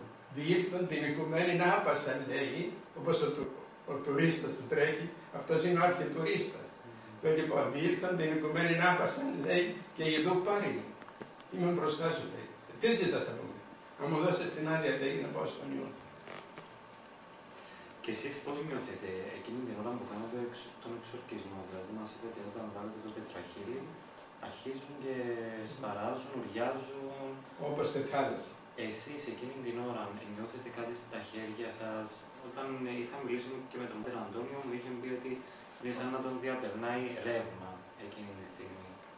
Ε, δεν έχει τέτοια πράγματα, δεν υπάρχουν. Για μένα είπαμε ότι ο διάβολος δεν μπορεί να κάνει τίποτα. Εμένα μου έλεγε, πραγματικά μου έλεγε, αυτό το οποίο θα πω τώρα είναι ένα σημαντικό. Επέτρεψε ο Πανέλαθος Θεός όλα τα άρρωστα τα παιδιά, ό,τι είχαν να το πάθω εγώ. Δηλαδή, ό,τι εμπασανίζεται έπεσε πάνω με μένα. Αλλά μου έλεγε ο κακούργος, βρε θα σε περάσω από 40 κύματα και αν περάσεις απέναντι λέγει τότε θα αρχίσει ο πόλεμος. Δηλαδή την ώρα που πολεμάς, εάν οπισθοχωρήσεις, εάν φοβηθείς, σε έχει φάει. Δηλαδή έτσι για να καταλάβει και ο κόσμος, έτσι ότι, ότι είχαν τα, τα παιδιά, ε, προσπαθήσουμε να το εξηγήσουμε, δηλαδή αρρώστιες κτλ. Έτσι αρρώστιες, είπαμε, θα επαναλάβουμε ότι η πρώτη κίνηση είναι να πάμε στο γιατρό. Όχι σε εσάς που μας λέτε ότι, ότι είχαν τα παιδιά, μεταφέρθηκε σε μένα, λέτε. Ναι, αυτό είπα, ότι, ότι είχε το καθένα παιδί που βασανιζόταν, επέτρεψαν η Παναγία μας ο Χριστός διότι δοκιμάζει το στρατιώτη του ο Θεός. Σου λέει, τώρα να σε δοκιμάσω να δούμε, θα το βάλεις στα πόδια και θα φύγεις ή θα πολεμήσει. Εάν το βάλεις στα πόδια και πεις τι με ενδιαφέρει εμένα τώρα και μάχομαι με αυτά τα, τα, τα, τα δαιμόνια. Ποιος ε, έχει δαίμονα, ό,τι θέλεις να κάνει. Γιατί μπήκε ο δαίμονας; Γιατί μπήκε ο δαίμονας; Θα ερωτήσουμε τώρα τον Θεό γιατί επέτρεψε και πήγαινε ο δαίμονας. Βοήθησε το παιδί, τι έχει. Τι έχει; Το λοιπόν. Και ο Πανέλαθος Θεός και η Παναγία μας επιτρέπουν πάντοτε, πάντοτε, πάντοτε σε εκείνο που πολεμά το σατανά να δει ο Θεός αν έχει τόλμη ή αν είναι δηλός. Και τους δηλούς λέγει, μέλο εμέσα εκ του στόματός μου και θα τους ρίξω στην κάμινο την καιωμένη. Τους δηλούς. Και βλέπουμε και στο στρατό όταν πολεμούμε, τι βλέπουμε; Όταν έχει έναν και είναι προδότης, τον αρπάζουν οι κατακτητές, οι εμπόλεμοι, τον πιάνουν, τον βασανίζουν και όταν δουν ότι προδώνει, θα πιάσουν εκείνο που θέλουν και μετά το σκοτώνουν. Δι' αυτό δεν κάνει προπάντων στο Θεό να είναι θα προδότης. Ο Θεός επιτρέπει και μία τρίχα από την κεφαλή μας λέει ή αν δεν επιτρέψει ο Θεός δεν πέφτει. Χωρίς εμού δίναστε πίνο δεν. Πρέπει να είναι δοσμένος στον Θεό ο άνθρωπος ο οποίος θα πολεμήσει. Λοιπόν, και τα, τώρα τα, τα πρόσωπα τα κοντινά ενός ανθρώπου ο οποίος έχει καταληφθεί από τον πονηρό. Πώς πρέπει έτσι να, η συμπεριφορά τους, η αντίδρασή τους; Ήθελα να ρωτήσω αγαπητά Μονίκο ένα πράγμα. Όταν σε πονεί ένα δάχτυλο, τα άλλα τι κάνουμε; Mm.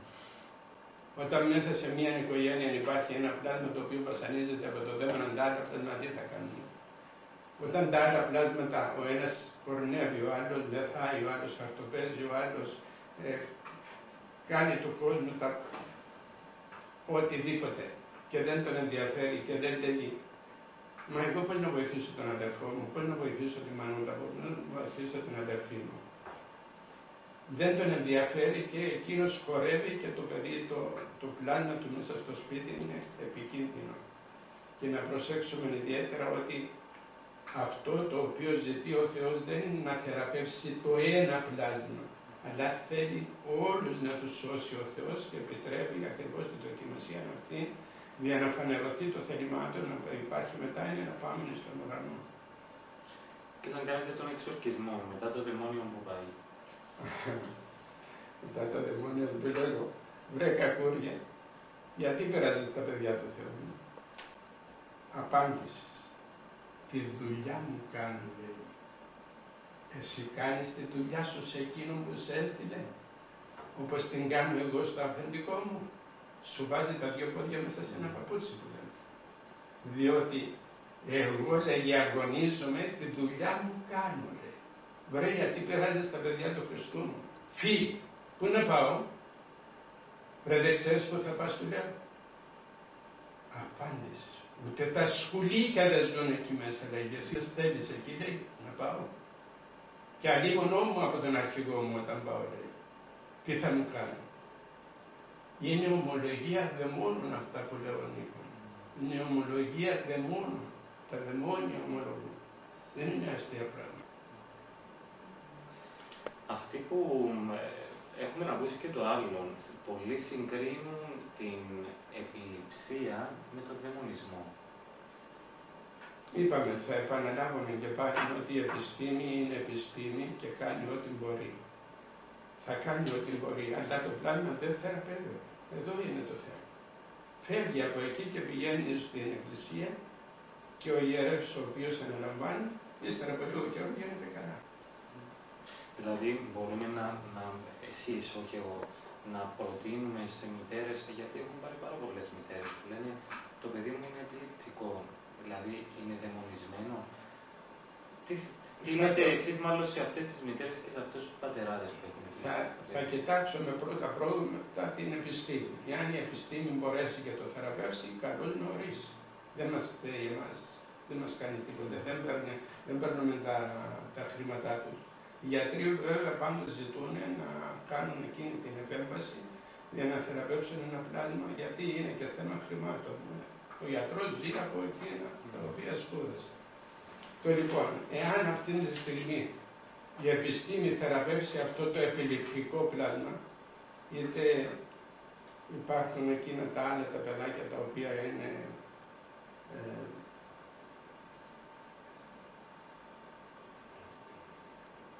πώς τα λέγονται. Σύνδρομο Down. Down. Down. Όχι τον Down, άλλα. Ε, τέλος πάντων υπάρχει Εάν η επιστήμη μπορέσει, με λίγα λόγια, εάν η επιστήμη μπορέσει και θεραπεύσει το παιδί, καλώς. Εάν όμως δεν μπορέσει, πρέπει να καταφύγει στην εκκλησία. Θα θυμούμε μια περίπτωση. Ήταν ένα παιδάκι το οποίο γεννήθηκε και η μανούλα του το είχε τόσο καθαρό, τόσο καθαρό, τόσο καθαρό. Του είχε μια κούνια που την έβλεπε και αυτό, αυτό το πράγμα τι είναι. Πραγματικά μέσα είχε ένα παιδάκι το οποίο της έδωσε ο Θεός και κάποιος το μάθιασε. Γυναίκα ήταν, άντρας ήταν, το παιδί είχε ένα φοβερό πυρετό. 42. Το βρέφος. Επήγαινε στους γιατρούς, έκαναν αναλύσεις, έβγαζαν το αίμα, τίποτα δεν βρίσκανε. Οπότε με κάλεσε και μου λέει, παππούλη μου το μωρό μου αυτό και αυτό. Να αυτό λέω. Δώσ' μου ένα θυμιατηράκι, λέω, βάλε μου λίγο κάρβουνο και δώσε μου λίγο θυμία μου. Και βλέπω το παιδάκι να είναι χλωμό, χλωμό, χλωμό, ούτε να φάει, ούτε να κοιμηθεί, ούτε τίποτα και ο πυρετός δεν το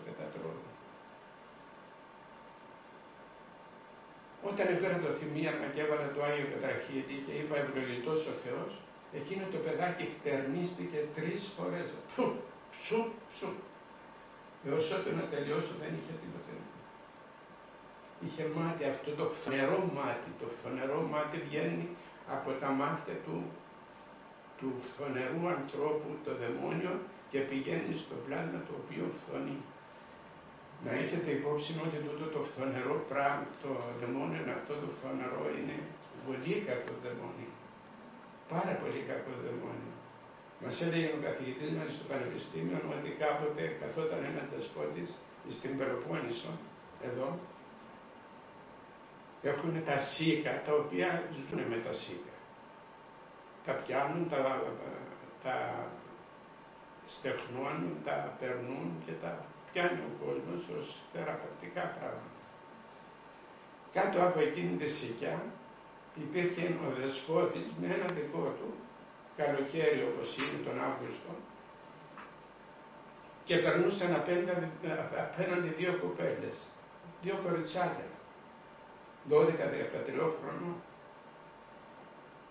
Και όπως περνούσα γυρίζει το ένα και λέγει στο άλλο, πω πω τι σικιά είναι αυτή λέγει που είναι απέναντι.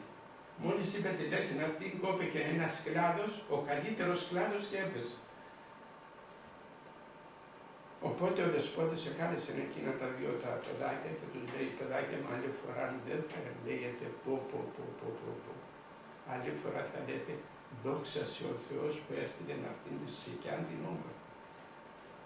Παράγγειλαν στα παιδιά να φύγει το πονερό δαιμόνιο το οποίο είχε το παιδί μέσα. Και μια και μιλήσαμε και για μάτι, να πούμε και στον κόσμο, ε, μάλλον να μας πείτε εσείς, ε, υπάρχουν πολλοί που λένε που παίρνουν τηλέφωνο να πάρω τη θεία μου να με ξεματιάσει Όχι. ή να μου όχι. κάνει το λάδι. Όχι, όχι, όχι. Αυτά πρέπει να σταματήσετε ότι δεν είναι της Εκκλησίας. Η Εκκλησία έχει προσευχή. Όταν έχει το παιδί σου κάτι, δεν κοιμάται, δεν ε, φεύγει ο πυρετός, δεν τρώει, δεν οτιδήποτε, θα το πάρει στον ιερέα να διαβάσει, διότι υπάρχει ειδική ευχή, ειδη- ειδική ευχή. Αυτά τα οποία κάνουμε με τα λάδια και με τα φτισίματα και με τα ο- οτιδήποτε, αυτά δεν είναι της Εκκλησίας. Δεν κάνει να υπάρχουν είναι εκτός της Εκκλησίας και εκτός της Εκκλησίας σου και στη σωτηρία. Αυτό είναι το γνωρίζουμε. Έξω από την Εκκλησία δεν υπάρχει να σωθείς. Τώρα θέλουμε να μας πείτε έτσι, να μας περιγράψετε έναν ε, χαρακτηριστικό παράδειγμα εξορκισμού, δηλαδή αυτόν που ξέρουμε ότι έχετε δει, λέγαμε και προηγουμένως, 49 χρόνια. Ήσασταν. Έχετε δει μέσα στα 49 χρόνια, κανείς δεν μπορεί να φανταστεί. Υπάρχει ένα κάποιον ή κάποια παραδείγματα ανθρώπων τους οποίους κάνατε εξορκισμό, τα οποία έτσι σας έμειναν, δηλαδή δεν μπορείτε να ξεχάσετε. Μου ήρθε από, τον, από τη Θεσσαλονίκη ένα αντρόγινο, ο οποίος ε, έφερε τη γυναίκα του και έφερε και πέντε άτομα μαζί του για να κρατούν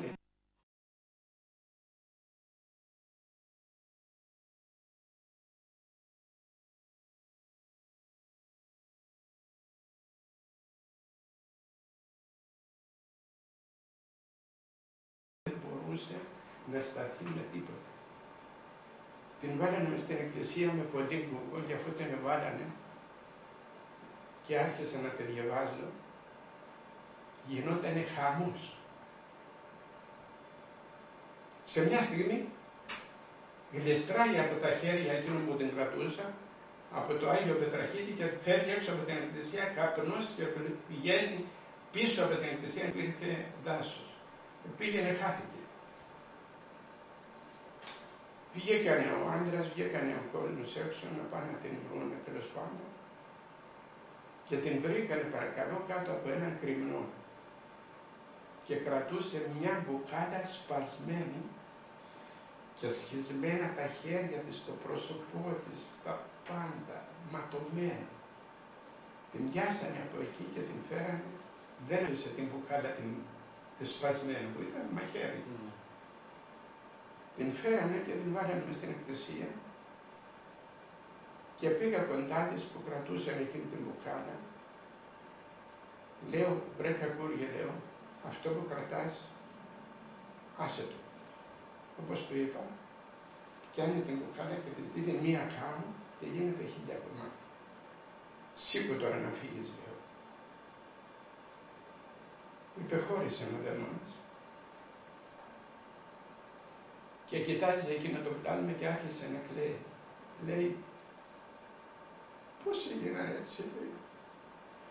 Ποιος με έσχεσε τα χέρια; Ποιος με βγάλε τα αίματα;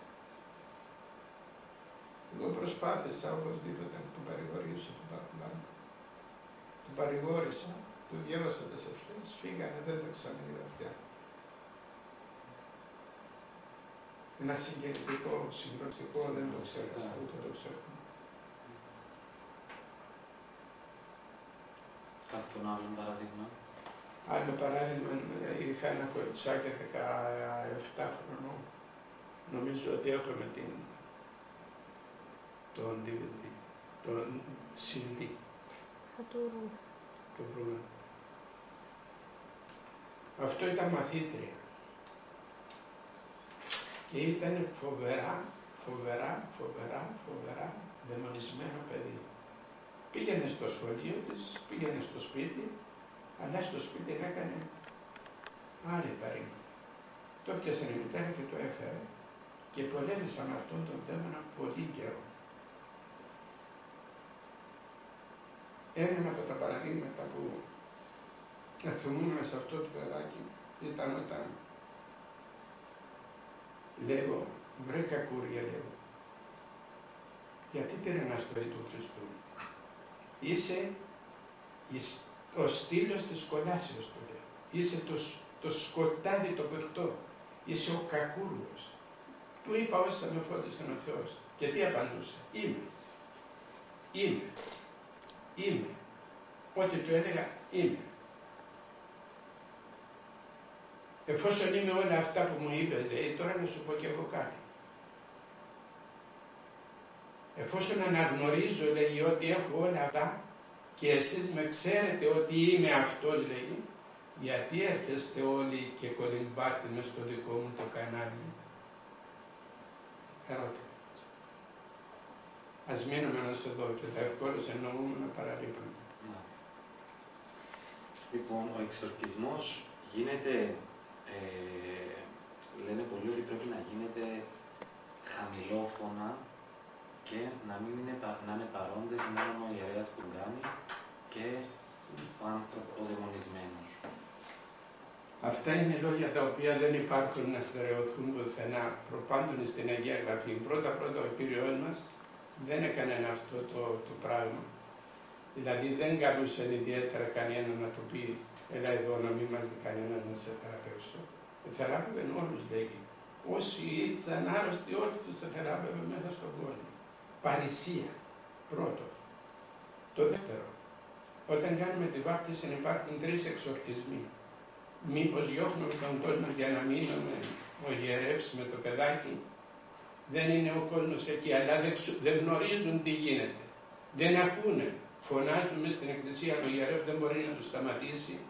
Διαβάζει όπως όπως όπως όπως ότι αναφύγει και τελειώνει το θέμα και δεν γίνεται τίποτα. Αγαπητέ μου Νίκο, ο Θεός είναι η αλήθεια. Δεν μπορείς να λέεις κρυφά πράγματα, ούτε να κάνεις κρυφά πράγματα. Ό,τι ελέγχεται υπό το φωτός είναι του Θεού, ό,τι δεν ελέγχεται από το φως είναι του σατανά. Εάν αυτή τη στιγμή πιάσουμε ένα πλάνο και το βάλουμε ξεχωριστά να το διαβάσουμε, θα έρθει ο άλλος, θα έρθει ο άλλος, θα έρθει ο άλλος και εκείνος ο οποίος διαβάζει τι θα είναι. Και το μηχάνημα το οποίο ακριβώς βλέπουμε αυτή τη στιγμή και αυτό ζεσταίνεται. Μπορεί να φτάσει ένας άνθρωπος να διαβάζει σε σωρία κόσμου ιδιαίτερα και έπειτα τι κακό κάνει. Επειδή παρακαλεί το Θεό, επειδή προσεύχεται, μια προσευχή είναι. Ο εξορχισμός τι είναι. Είναι μια προσευχή. Αυτή την προσευχή θέλει να την κάνει να μην σε ακούσει κανένας. Δηλαδή έχει, έχει πράγματα τα οποία δεν πρέπει να ακούσει ο κόσμος. Αυτά όλα δεν στηρίζονται στην Αγία Γραφή. Και ε, τώρα οι διαφωνίες, ε, γιατί είχατε διαφωνίες με την Εκκλησία, έτσι; Οι διαφωνίες στην Εκκλησία Νίκο μου ήταν οι αξίες. Πρώτα-πρώτα, δεν ήθελε να ακούει η Εκκλησία τον εξορκισμό ο οποίος γίνεται. Δεύτερον, υπάρχουν και εκείνοι οι ιερείς, δυστυχώς θα το πούμε, οι οποίοι καρπώνονται τις ευκαιρίες για να πάρουν χρήματα. Και ο κόσμος ο οποίος θυμούμε μια ημέρα αφού διάβασα το πλάσμα του πονεμένου, αμέσως μόλις τελείωσα έκανε το πορτοφόλι και ψάχνει για να βρει χρήματα. Εγώ δεν άφησα. Αφού έκανε, έψαξε από εκεί, έψαξε από εδώ, έβγαλε λίγα χρήματα να μου τα δώσει. Λέω, τι είναι αυτό; Για τον κόπο σου μου λέει. Μα εγώ δεν έκανε τίποτα λέει.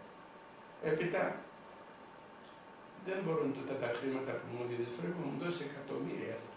Πού είναι τα βρει να μου τα δώσει. Διότι με αυτά τα λίγα, με αυτά τα λίγα δεν κλείνω τα προβλήματα με τα ειδικά. Και ε, άλλος λόγος, ξέρουμε ότι μας είπαν ότι καταρχήν ήσασταν 49 χρόνια ήσασταν στον Άγιο Γεώργιο. Ε, σε 32. Ήσασταν 32 χρόνια στον Άγιο Γεώργιο Καρέας. Είδαμε και ένας συγκλονιστικός ντοκουμέντο ε, που δείξαμε και στους τηλεθεατές μας. Ε, σας το θυμήσαμε προηγουμένως, θέλετε να μας πείτε λίγο, λίγα πράγματα για αυτό το ντοκουμέντο. Για θυμήσαμε το Ήταν, ε, νομίζω, Θοδωρής. Θοδωρής. Α, Θοδωρής, εδώ Θοδωρή. Ήταν ένα ντοκουμέντο όπου βλέπαμε ανθρώπους στην εκκλησία να κάνετε εσείς εξορκισμός σε μια γυναίκα ε, να υπάρχουν και άλλοι άνθρωποι, και άλλη μια γυναίκα να χτυπιέται στο πάτωμα ε, και ένας άλλος άντρας πάνε να σας πλησιάζει. Πεςτε μας λίγα πράγματα για αυτό. Πρώτα πρώτα αυτό το παιδάκι από 12 χρονών έβοσκε ε, πρόβατα και δαιμονίστηκε μέσα στο βουνό. Τώρα είναι κάπου 60 χρονών. 60 ολόκληρα χρόνια αυτό το παιδί βασανίζεται από τον δαίμονα, διότι δυστυχώς, δυστυχώς,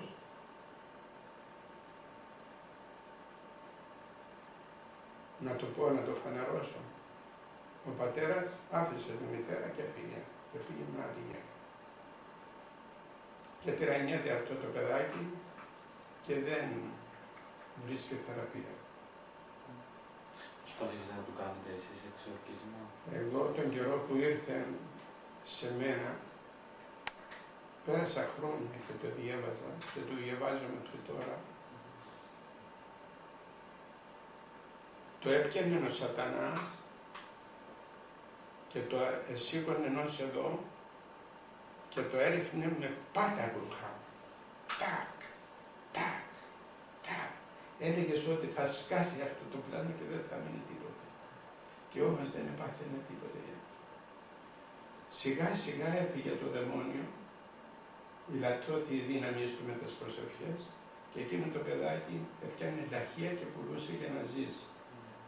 Αλλά το δαιμόνιο τον έπιανε μέσα στους δρόμους μέσα στις αγορές που πήγαινε να δώσει κανένα λαχείο και αυτός ο ανόητος κόσμος έτρεχε που χτυπιόταν το παιδάκι και το έπαιρνε τα λαχεία και εκείνα τα χρηματάκια που μάζευε και όταν ξυπνούσε έκλαιγε το παιδάκι και έλεγε ποιος μου τα πήρε, ποιος μου τα πήρε και γελούσε με το.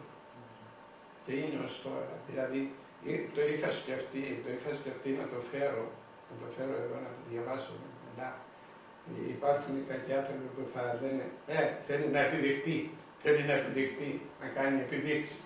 Θα ήταν καλό να το Ναι. πάντως. Αν το είχαμε, το Ναι, είχαμε θα θα, ήταν πάρα θα πολύ. βλέπατε μια πραγματικότητα, μιλάω. Μμμ. Ναι. Και τώρα έτσι, αν δεν ξέρω αν μπορούμε να μας πείτε ε, τις ευχές που λέτε στον εξορκισμό; Οι ευχές του εξορκισμού υπάρχουν για μου και είναι μέσα στο, στο βιβλίο το οποίο έχει η Εκκλησία μας, το οποίο ονομάζεται ε, Αναγνωτάριο Ευχόμαστε. Ευχολόγιο. Ευχολόγιο. Ευχολόγιο. Μέσα στο ευχολόγιο της Εκκλησίας υπάρχουν οι ευχές του Μεγάλου Βασιλείου και του Ιερού του Σωστού. Θυμάστε κάποια λόγια να μας τα πείτε; από κάποια ευχή. Ε, θυμούμε. Δεν θυμάστε έτσι. Ο Θεός των Θεών και Κύριος των Κυρίων, των περίνων ταλμάτων δημιουργός και των αήλων δυνάμεων τεχνουργός των υπερανιών και των επίων τεχνίτης, ο νίδων ουδής ανθρώπων, δεν την δύναται, ον φρύτη και τρέμου πάση εκτίσεις, των τραχυλιάσεων των ποτέρχες τράδικων και την τούτου λειτουργία μερακοία θετήσαντα. Ρίξασε τη γη και τους συναποδάτες από το αγγέλου, δαίμονας γενομένους σε σκότους επιθού τα χαρόσα, δώσ' τον αφακτισμό τούτων που το φρικτό όνομα της υπερούμα. Φόβο γενέστε αυτό το προηγουμένο της πονηρία και πάσες τις πάνε του αυτού τα συνεκπεσούσες εκ της άνω φωτοφορίας και τρέξουν από τον εισφυγή και επίταξον αυτό και τις δένος αυτού αναχωρήσε παντελώς ή να μην την λαβαίνουν κατά τις ασφραγισμένες εικόνες αλλιάσετε. Αλλά να βέτωσαν ισχύουν τη ασφραγισμένη κρατότητα στο παδίν επανόφεων και σκορπίων και επιπάσαν τη δύναμη του εχθρού σου γαρινίτη και γαρίνητη και πάσες πνοής δοξάζεται το Πανάγιο όνομά σου του Πατρός και του Υιού και του Αγίου Πνεύματος. Αμήν. Και συνεχίζει πλέον. Και μπορεί να την πείτε αυτή την ευχή πόσες φορές μέχρι Όσες φορές, όσες φορές. Μπορεί. Ο, ο, δαίμονας, ο δαίμονας μοιάζει με έναν ο οποίος κρατάει ένα τσεκούρι και θέλει να κόψει ένα δέντρο και να το ρίξει. Εάν του δώσει μια τσεκουριά σήμερα και ύστερα από τρεις μήνες του δώσει άλλη, η πρώτη έχει δύσει και έχει προχωρήσει. Θέλει χτύπημα κάθε μέρα, κάθε μέρα έως ότου να επιτρέψει ο Παναγιώτος να φύγει από εδώ. Μάλιστα. Λοιπόν, ε, τώρα ο άνθρωπος πώς μπορεί να μείνεται με ποιους τρόπους. Το είπε, το είπε ο Θεός, το είπε ο Θεός όταν ε, βρίσκεται στο, στο όρος της μεταμορφώσεως, στο φοβόριο όρος, έφερε ένας πατέρας το παιδί του το οποίο ήταν δαιμονισμένο Και ο Κύριος μας πήρε τον Πέτρο, τον Ιάκωβο και τον Ιωάννη και ανέβηκε στο όρος και μεταμορφώθηκε έμπροσθεν αυτό. Έως όταν κατέβει από εκεί πάνω από το όρος, ήρθε ένας πατέρας με το παιδάκι του, το οποίο ήταν δαιμονισμένο και είχε περικυκλώσουν τους μαθητάς κόσμους πολλής και οι μαθητές δεν μπορούσαν να το θεραπεύσουν. Και κατέβηκε ο Χριστός και όταν τον είδε ο πατέρας το Χριστό του λέει έφερα το παιδί μου στους μαθητάς σου και δεν το θεράπευσα. Ή δύνασε, βοήθησε τον και του λέει ο Χριστός ερώτησε τον Θεό να αν δύναται, αν είναι δυνατόν αυτό το πράγμα. Και απαντά ο Κύριος και λέει, το έδυνασε δυνατά το πιστεύοντι, διότι όποιος πιστεύει μετακινεί όροι, είπε ο Θεός. Πάντα δυνατά το πιστεύουν. Και αφού εθεράπευσε το παιδί και ερώτησε τον πατέρα να που πότε είναι άρρωστο, διότι λέει το πιάνει πέφτει μου, αφρίζει, χτυπιέται, το ρίχνεις στη φωτιά, το ρίχνεις στο νερό να το πνίξει, παντού.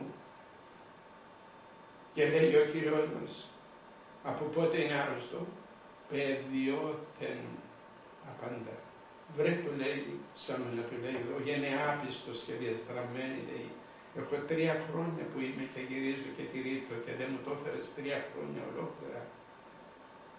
Και αφού ο πατέρας άκουσε από το Θεό ότι εκείνος που πιστεύει γίνεται καλά και κάνει το παν, πάντα δυνατά το πιστεύουν. Τότε επετίμησε λέγει το δαιμόνιο και βγήκε και έφυγε και ο πατέρας έπεσε μπρούμε τα χάμου και έλεγε βοήθα με την απιστία κύριε, βοήθα με την απιστία. Εθεράπευσε την απιστία του πατέρα πρώτα, εθεράπευσε το παιδί έπειτα και ο κόσμος έμεινε εκεί, έφυγε και οι μαθητές ρωτούν τον Χριστό και του λέω, Κύριε, γιατί εμείς δεν μπορέσαμε να το θεραπεύσουμε; Και απαντά ο Κύριος, δια την απιστία νημών. Μα οι μαθητές δεν είχαν πίστη. Είχαν πίστη, αλλά αμφέβαλα. Αμφέβαλα, όταν αμφιβάλλεις δεν θεραπεύεσαι, δεν κάνεις τίποτα. Τούτο το οποίο λέγεις αυτό θα είναι και γίνεται. Και συνέχισε ο Κύριος και λέει, τούτο το γένος του διαβόλου λέει των δαιμόνων εν ουδενή εξέρχεται με κανέναν τρόπο δεν φεύγει λέει η μη εν προσευχή και νηστεία. Δηλαδή πρέπει να προσεύχεται και να νηστεύει, να προσεύχεται και να νηστεύει. Είχα μια περίπτωση από το Αίγιο που είχε έναν ο οποίος ήταν δαιμονισμένο το πλάνο και το αγάπησαν όλοι οι, τα αδέρφια, οι, τα εξαδέρφια του, οι συγγενείς του όλοι το αγάπησαν και έπεσαν στην προσευχή και την νηστεία. Στα 40 μέρες έφυγε. Στα 40 μέρες έφυγε, ναι, αλλά ήταν όλοι μονιασμένοι, όλοι, όλοι πάνω σε αυτό το παιδάκι με νηστεία και με προσευχή. Είναι ένα μήνυμα αυτό που δίνεται και στον υπόλοιπο κόσμο που μας ακούει όταν νηστεύεις και προσεύχεσαι για έναν άτομο δικό σου. Το θεραπεύει ο Θεός. Θεραπεύει ο Θεός. Θέλει όμως υπομονή και πίστη. Να μην υποψυχείς και να πεις εφόσον δεν μου ακούει, τι να κάνω. Εφόσον δεν μου ακούει, τι να κάνω. Ο Θεός όλα που ούτε συμφωνέω δεν αλλιέω μόνο που διαφωνεί αυτό. Τους ούτε συλλόγιο δεν αλλιέω να πούν διαφωνεί αυτό. Όλα τα ακούει ο Θεός. Και τα, εκείνα που είναι μέσα μας και εκείνα που σκεφτόμαστε. Όταν εθεράπευσε τον παράλυτο, τι έκανε ο Κύριος. Εκείνο που τον εγκατέβασαν από τη στέγη κάτω.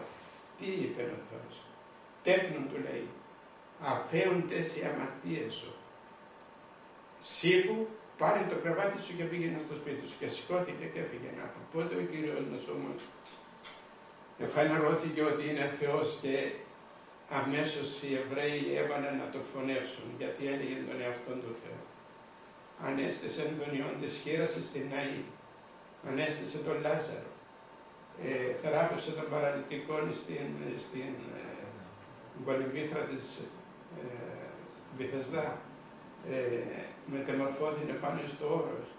Ε, πόσα θαύματα έκανε ο Κύριος μας, τόσα και τόσα θαύματα. Όλοι έλεγαν δόξα ο Θεός που έδειξε τέτοια εξουσία στον άνθρωπο να κάνει αυτά τα θαύματα. Δεν εφανερώθηκε ενώ εκείνη τη στιγμή ότι είναι Θεός που συγχωρεί αμαρτία. Και όταν άκουσαν οι εχθροί του δίπλα ότι είπε τέκνον αφαίονται σε αμαρτία σου, αμέσως άρχισαν μέσα του να λένε ποιος είναι αυτός που λέει ε, συγχωρεί αμαρτίες, μόνο ο Θεός συγχωρεί αμαρτίες.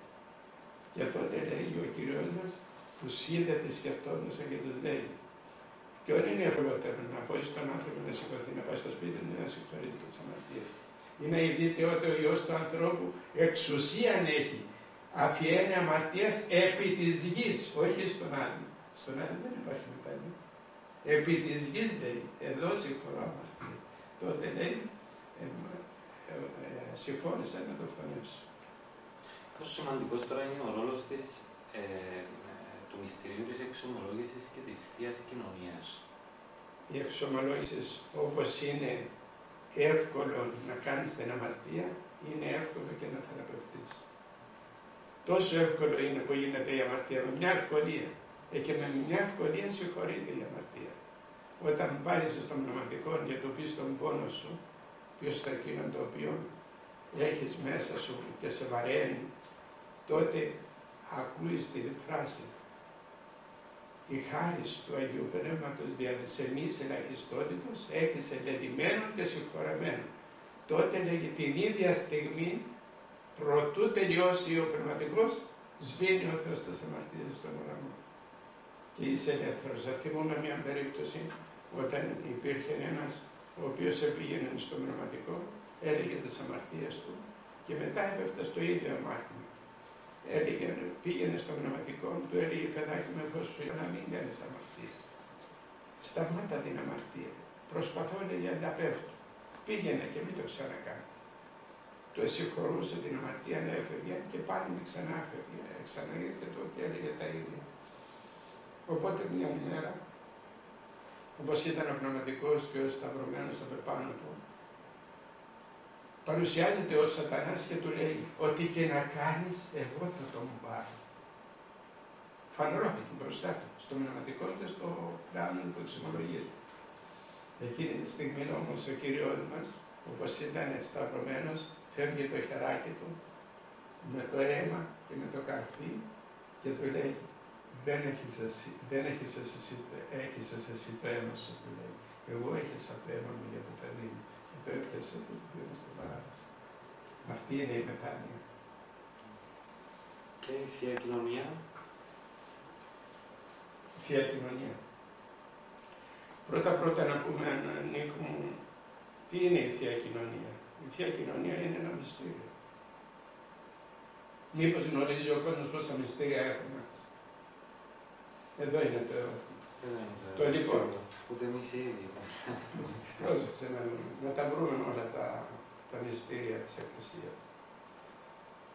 Όταν πηγαίνει ο κόσμος να βαφτίσει ένα μωρό, δεν γνωρίζει ότι υπάρχουν δύο μυστήρια την ώρα εκεί. Η βάφτιση και το Άγιο Χρήσμα. Τους δύο, δύο μυστήρια. Μεγαλώνει το παιδί. Μεγαλώνει το πλάτο. Και όταν μεγαλώσει, αρχίζει να κάνει πράγματα τα οποία δεν πρέπει, οπότε ονομάζονται αμαρτίες. Βαραίνει την ψυχούλα και φωνάζει ο Θεός δεύτε με πάντες οικοποιώντες και φεφορτισμένοι κάποιον να πάψω εμάς. Έλατε να θα ξεφορτώσω λέει. Οπότε υπάρχει ένα τρίτο μυστήριο που λέγεται εξομολόγησης. Ο άνθρωπος ζει μέσα στον κόσμο και αρρωσταίνει φτάνει στο, στο σημείο να είναι άρρωστος. Ο Θεός εφρόντισε και γι' αυτό. Το έδωκε ένα μυστήριο που λέγεται Άγιο Ευχέλιο. Και λέει προσκαλεσάς του τους πρεσβυτέρους της Εκκλησίας και προσεξάς τους ανεπαυτών, αλείψαντες αυτόν ελαίο. Και η ευχή της πίστος σώσει τον κάνοντα και η ιερή αυτόν κάνε αμαρτία συμπεριηγός θα απαιτήσετε αυτό. Άγιο Ευχέλιο. Τώρα να δούμε και κάτι άλλο. Μέσα στον κόσμο, όταν βρίσκεσαι, υπάρχει ένας άλλος φόβος, ότι ο άνθρωπος πρέπει να ζήσει, να ζήσει πνευματικά. Για να ζήσει πνευματικά όμως ο άνθρωπος χρειάζεται να κοινωνεί το σώμα και το αίμα του Κύριου. Άλλο μυστήριο. Τέσσερα. Προχωρούμε παρακάτω για να δούμε αν υπάρχει κανένα άλλο μυστήριο.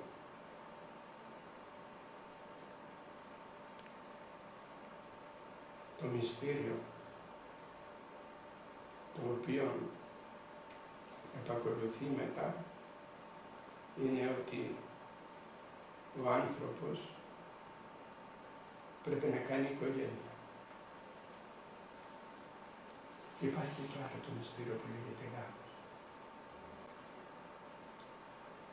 Προχωρούμε να δούμε.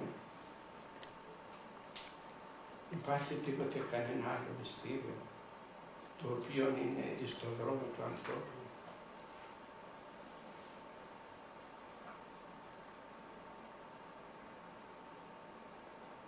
Από τη Θεία Κοινωνία, από το Άγιο Ευχέλιο, από την εξομολόγηση, στο γάμο, φτάνουμε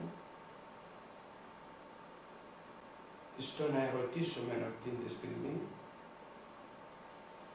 ποιος κάνει όλα αυτά τα μυστήρια. Υπάρχει ένα μυστήριο που θα επισφραγίζει όλα τα μυστήρια. Ποιο να είναι,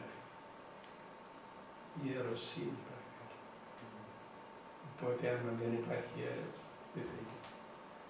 Και γι' αυτό όλα τα μυστήρια της Εκκλησίας μας είναι 7, ένα μυστηριώδης αριθμός, στον οποίο ακριβώς πρέπει να γνωρίζουν ότι οι 7 μέρες είναι η δημιουργία του κόσμου. 6 μέρες και την εβδόμη αναπάρθηκε ο Κύριος μου. 7 είναι η, η ετάφτος γενιά της Αποκαλύψεως. 7 είναι οι πληγές της Αποκαλύψεως. 7 είναι τα, οι κεφαλές του, του δράκοντος της Αποκαλύψεως που έχει λέγει 7 κέρατα, δηλαδή 7 θανάσιμα μαθήματα και 10 κεφαλές κυνηγά τις 10 εντολές του Θεού. Λέμε έτσι, δεν είπαμε γιατί ε, κάποιοι τέλος πάντων εντάξει δεν είναι ανάγκη να χρησιμοποιήσουμε ονόματα, κάποιοι σας πολέμησαν στο βάλω εισαγωγικά για να σταματήσετε το, τους εξορκισμούς είναι, ο ένας λόγος είναι αυτός ο οποίος είπαμε προηγουμένως ότι υπάρχουν ιερείς οι οποίοι παίρνουν χρήματα και οπότε διασύρεται το όνομα της Εκκλησίας. Αλλά το φοβερό είναι ότι ενώ ο Πάπας της Ρώμης είδε τον πόνο του κόσμου και ε, δημιούργησε έδρανες του Πανεπιστήμιου και έχει εκλεκτούς ιερείς οι οποίοι διδάσκονται για να ελευθερώνει τον κόσμο του από τα δαιμόνια, εμείς δυστυχώς δεν έχουμε αυτή την λεπτομέρεια και αυτή την, τη σημαντική πράξη. Έπρεπε και στην Εκκλησία να υπάρχει, να υπάρχουν εκλεκτοί ιερείς από τους αρχιερείς, εκλεκτοί ιερείς οι οποίοι να κάνουν αυτή τη δουλειά και να βοηθούν τον κόσμο, διότι ο κόσμος όταν δεν βοηθείται, τι θα γίνει πού θα πάει. Καταλήγουν στους νευρολόγους, τους ψυχιάτρους. Καλά είπαμε προηγουμένως ότι η επιστήμη ό,τι μπορεί κάνει, αλλά εάν όμως η επιστήμη δεν φτάσει στο σημείο να δώσει βοήθεια, τότε η Εκκλησία πρέπει να επεμβαίνει και να βοηθά τα παιδιά της. Είχαμε φτάσει και στο σημείο να σας ε, διώξουν νομίζω και από τη Μητρόπολη. Ε, Νιώθετε... Ε, όχι, δεν νιώθω τίποτα, δεν νιώθω τίποτα, όχι δεν νιώθω τίποτα. Εγώ ξέρω ένα πράγμα, ότι εάν δεν επέτρεπε ο Θεός δεν με έδιωχνε. Τώρα με έδιωξε από εκεί, εμένα η αποστολή μου τώρα. Πόσος κόσμος θα ακούσει αυτό το κρίμα; Πόσες χιλιάδες κόσμος θα ακούσει αυτό το κρίμα; Πόσες χιλιάδες κόσμος θα δει αυτά όλα τα γεγονότα που δεν τα γνώριζε. Ήθελε ο Θεός να φύγω από εκεί και να έρθω σε αυτό το λιχούργημα, σε αυτή την ε, διακονία. Δεν μου συνεχίζετε σήμερα να, ε, να κάνετε εξορκισμούς. Βέβαια, βέβαια, βέβαια, βέβαια. Όσο αυτή τη στιγμή που μιλούμε, όσα παιδιά άρρωστα έρχονται και ανακουφίζονται και θεραπεύονται κτλ. Και τους δέχεστε, δηλαδή δεν πιστεύουν να λέτε, δεν μπορεί... Όχι, όχι, όχι, όχι, ποτέ, ποτέ, ποτέ. δεν μπορεί να έρθει το πλάσμα και να του πω σήκω φύγετε θα σου διαβάσω. Και από ό,τι λέγαμε, ναι, είχατε στον Άγιο Γεώργιο να έρχονταν από όλον τον κόσμο. Μας είπατε πάρα πολλές φορές. Όλος, χιλιάδες κόσμων έχουμε, χιλιάδες κόσμων. Χιλιάδες κόσμων. Και είχαμε μαρτυρίες και από Κύπριου που είχαν έρθει στο Ναι, Άγιο πολλοί Γεώργιο. Κυπριακόντουσαν δεκαετία. Φύγουμε τελευταίος τον έναν τρόπο. Πόση χαρά είχαν. Ε, Μάλιστα. Και σήμερα ε, λειτουργείτε; Είστε- Βέβαια, δεν το δω. Μμμ. Δεν το δω. Μάλιστα. Έχει καλούς ε, δεσποτάδες οι οποίοι με αγαπούν και μου δίνουν την... Μου είπαν να με διορίσουν πάλι, αλλά δεν θέλω, διότι κουράστηκα εγώ. Κουράστηκα τώρα. Αδέρφη μου, έτσι τελειώνοντας, θέλω να δώσετε μέσα από, μέσα από όλα αυτά που είδατε. Δηλαδή, ε, είναι πάρα πολλά τα χρόνια. Έχετε δει πάρα πολλά πράγματα. Πολλά γεγονότα, απερίγραπτα. Γράφω τώρα, γράφω τώρα ένα βιβλίο και γράφω ορισμένα γεγονότα τα οποία τέλος πάντων ε, μπορεί να βοηθήσουν τον κόσμο. Άλλοι θα πούνε ότι είναι εγωισμός, άλλοι θα πούνε ότι είναι ψέματα, άλλοι θα πούνε ότι μας δείχνει πως είναι Άγιος, άλλοι... Δεν σταματάει η γλώσσα του κόσμου για μένα. Εγώ θα κάνω το καθήκον μου και από εκεί και πέρα εκείνος ο οποίος θα πει τα λόγια του ας τα πει. Δικαίωμά του είναι, κανείς δεν μπορεί, είναι άποψη του καθενός. Θέλουμε να μας δώσετε συμβουλές τώρα. Συμβουλές για να πάρουμε και μαζί μας. Όσο Πάτερ Σάββας που όπως λέω ξανά έχετε δει και έχετε ζήσει αρκετά πράγματα. Όχι αρκετά πάρα πολλά. Η πρώτη συμβουλή που θα δώσω σε όλο τον κόσμο είναι να προσέχουμε την αμαρτία. Διότι όταν ο, ο πονηρός ε, πιαστεί από την αμαρτία θα σου επιτεθεί και αναλόγως τι θα του επιτρέψει ο Θεός. Εκείνο το οποίο ανατρέφει τον διάβολο είναι η αμαρτία, διότι η Αγία Γραφή τον ονομάζει μυρμη, μυρμήγκη, μυρμικάκι. Ξέρετε το καλοκαίρι, το καλοκαίρι να έχουμε κάτι με, φτε- με- με, με κάτι που μπαίνουμε στο ψωμί. Πόση δύναμη έχει ο σατανάς, δεν είχε δύναμη. Ό- Όταν σταυρώθηκε ο Χριστός μας και αναστήθηκε, του αφαίρεσε όλη την δύναμη. Τώρα έμεινε μόνο η πονηρία να σε, παρά, σε ε, προ, προτρέπει προς την αμαρτία, προς το κακό, για να σου πάρει την ψυχή σου. Το λοιπόν, αυτό το μυρμικάκι, όταν το ταΐσεις με την αμαρτία, μεγαλώνει και γίνεται λέον. Και το ονομάζει η Αγία Γραφή μυρμικολέοντα. Οπότε λέει ε, ότι είναι ο ζηλέον οριόμενος ο οποίος ζητεί τι να καταπεί. Είναι ένα λιοντάρι λέγει το οποίο βρεχάται που πεινά και ζητεί ποιον να καταπιεί, όχι να τον μασίζει, όχι να τον φάει, να τον καταπιεί από τη λύσα του που έχει, διότι ε, βλέπουμε τον διάβολο ότι είναι πολύ, πολύ εκδικητικός στα παιδιά του Θεού. Και πρέπει να προσέχουμε πολύ την αμαρτία και προπάντων ο διάβολος κρατείται από δύο, από δύο βαλίτσες. Η μια βαλίτσα γράφει συμφέρον και η άλλη βαλίτσα γράφει σάρκα. Αυτό, αυτός ο οποίος τρέχει στα σαρκικά μαρτήματα είναι έτοιμος για να τον πει ο σατανάς μέσα του. Πρέπει να προσέχουμε πάρα πολύ. Αυτά τα λέω στα παιδιά τα οποία μας ακούνε αυτή τη στιγμή και ο, ο Άγιος Ιωάννης ο Χρυσόστομος λέγει στις μητέρες και στους γονείς παντρεύετε τα παιδιά σας προηγουμένως λέγει προτού πά- πέσουν στην αμαρτία. Παντρεύετε τα, δώστα στο, στο ε, φρούριο το οποίο έχει ο Θεός που λέει το μυστήριο του γάμου. Η αμαρτία λοιπόν είναι εκείνη η οποία πρέπει να την προσέχουμε πάρα πολύ, μια συμβουλή μεγάλη και πάσα αμαρτία λέγει είναι εναντίον του Θεού ε, ένα, με, ένας μεγάλος πόνος, πονεί ο Θεός μας, πονεί, θλίβεται ο Θεός μας. Όταν κάνουμε την αμαρτία είναι σαν να τους στέλνουμε ένα βέλος επάνω στο σταυρό του που είναι σταυρωμένος και αντί να του δώσουμε ε, νερό να το ξεδιψάσουμε, να του δίνουμε όξος και χωρί. Αντί να τον παρηγορήσουμε, να του φτύνουμε, τον υβρίζουμε. Να προσέξουν πολύ τα παιδιά, δεν γνωρίζω στην Κύπρο πάντως Δεν έχω μαρτυρίες από τα παιδιά που είναι στο στρατό στην Κύπρο ότι βλασφημούν τον Χριστό και την Παναγία μας και τον Τίμιο Σταυρό. Εδώ όμως τούτα τα παιδιά που είναι εδώ, μέσα στο στρατόπεδο δεν λένε τίποτε άλλο παρά μόνο την Παναγία μας και τον Χριστό μας και τον Τίμιο Σταυρό.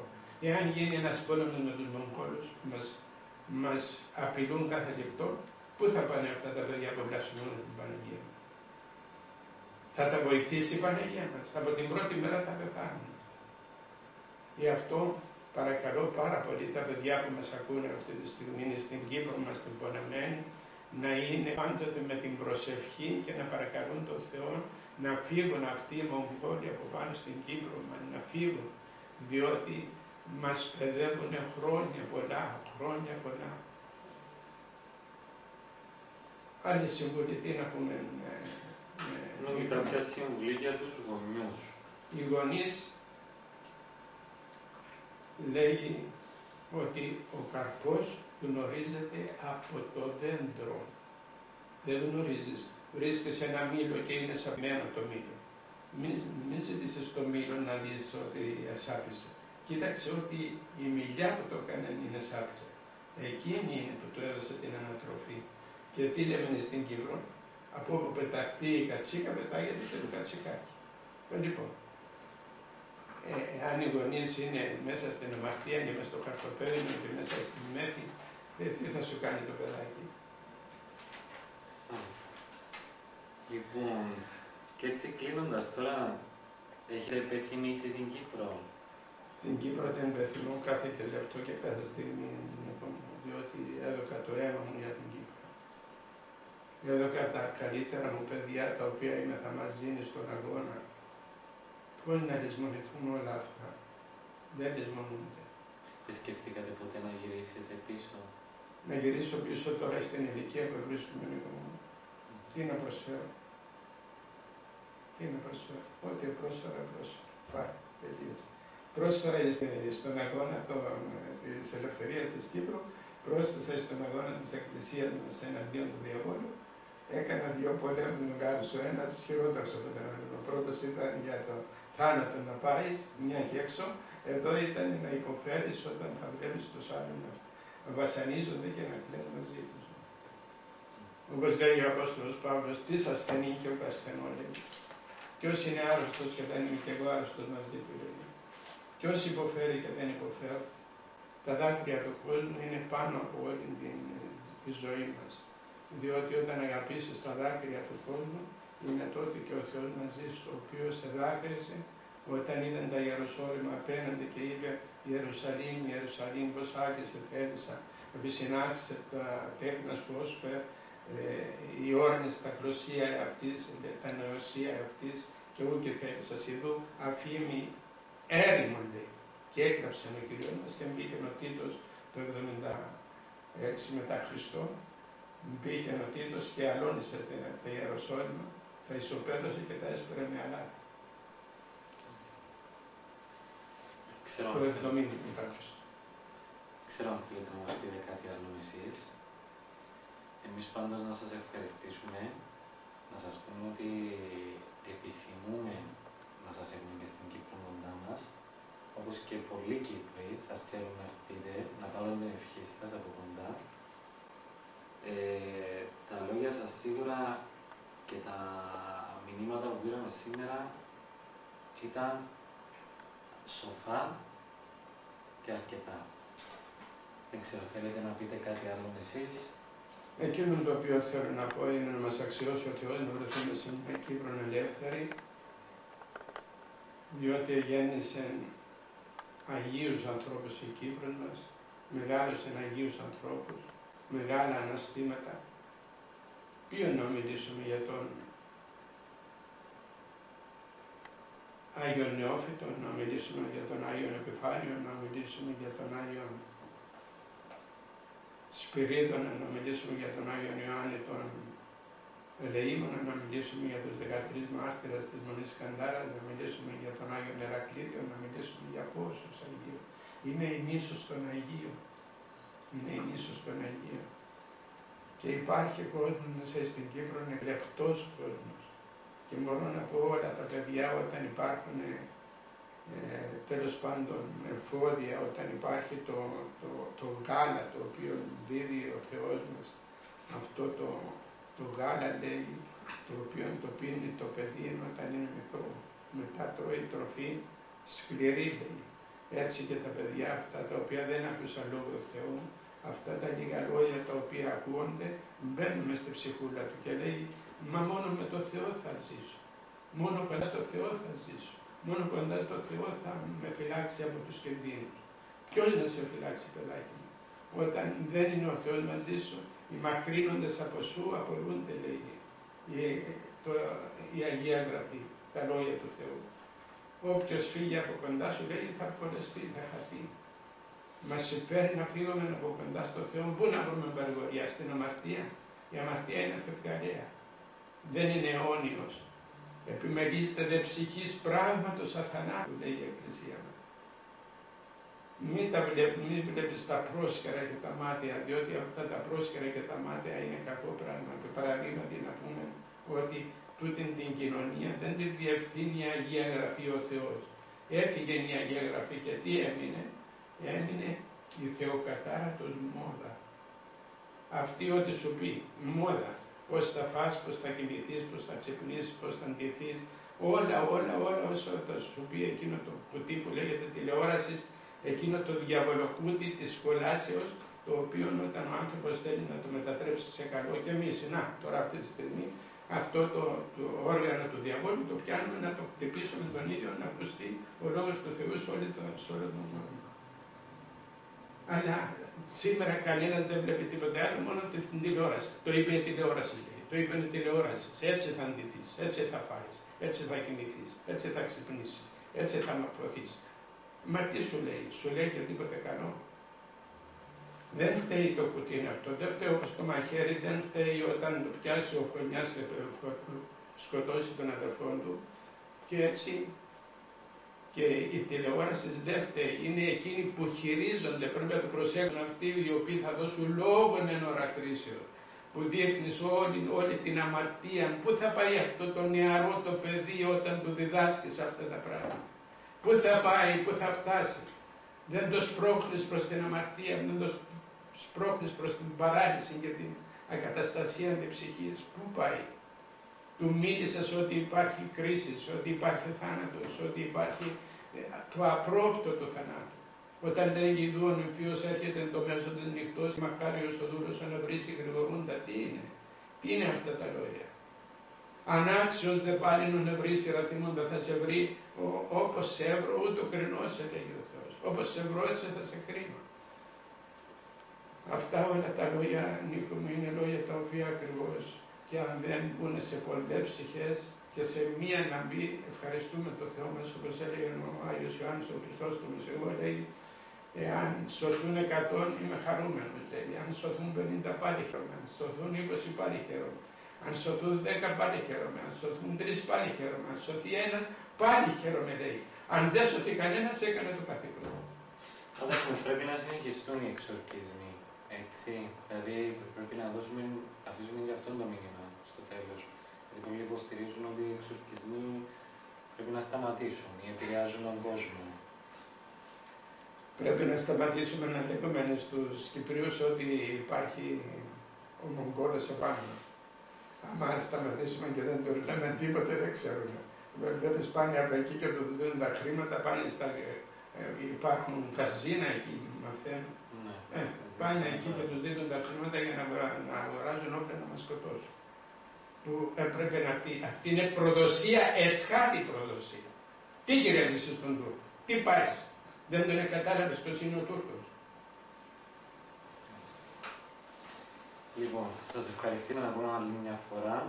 Να είστε καλά, Νίκο μου. Ευχαριστώ. Και η πρόσκληση πάντως είναι ανοιχτή και ισχύει όποτε μπορέσετε και αν μπορέσετε να έρθετε και στην Κύπρο. Που ξέρω και είμαι σίγουρος ότι την αγαπάτε πάρα πολύ. Την αγαπώ την Κύπρο και ζητώ την ώρα εκείνη που θα έρθω να τη δω ελεύθερη γιατί λόγω των αμαρτιών μας, δια τας αμαρτίας μας, οι Εβραίοι όταν ήσαν κοντά στο Θεό δεν τους άγγιζε κανένας. Μόλις έφευγαν λέγει αμέσως ορμούσαν επάνω τους οι, οι, τα βάρβαρα έθνη, τα ειδωλολατρικά έθνη λέει και τους πετσόκοβα. Τους εχμαλώτιζαν, τους μετέφεραν εχμαλώτιζαν στην, στην Βαβυλώνα. Αυτή η Βαβυλώνα, οι, οι Ρακινοί δεν ήρθαν στην Κύπρο και μας έφτιασαν και μας μετέφεραν εχμαλώτους στην Βαβυλώνα. Εχμαλώτους.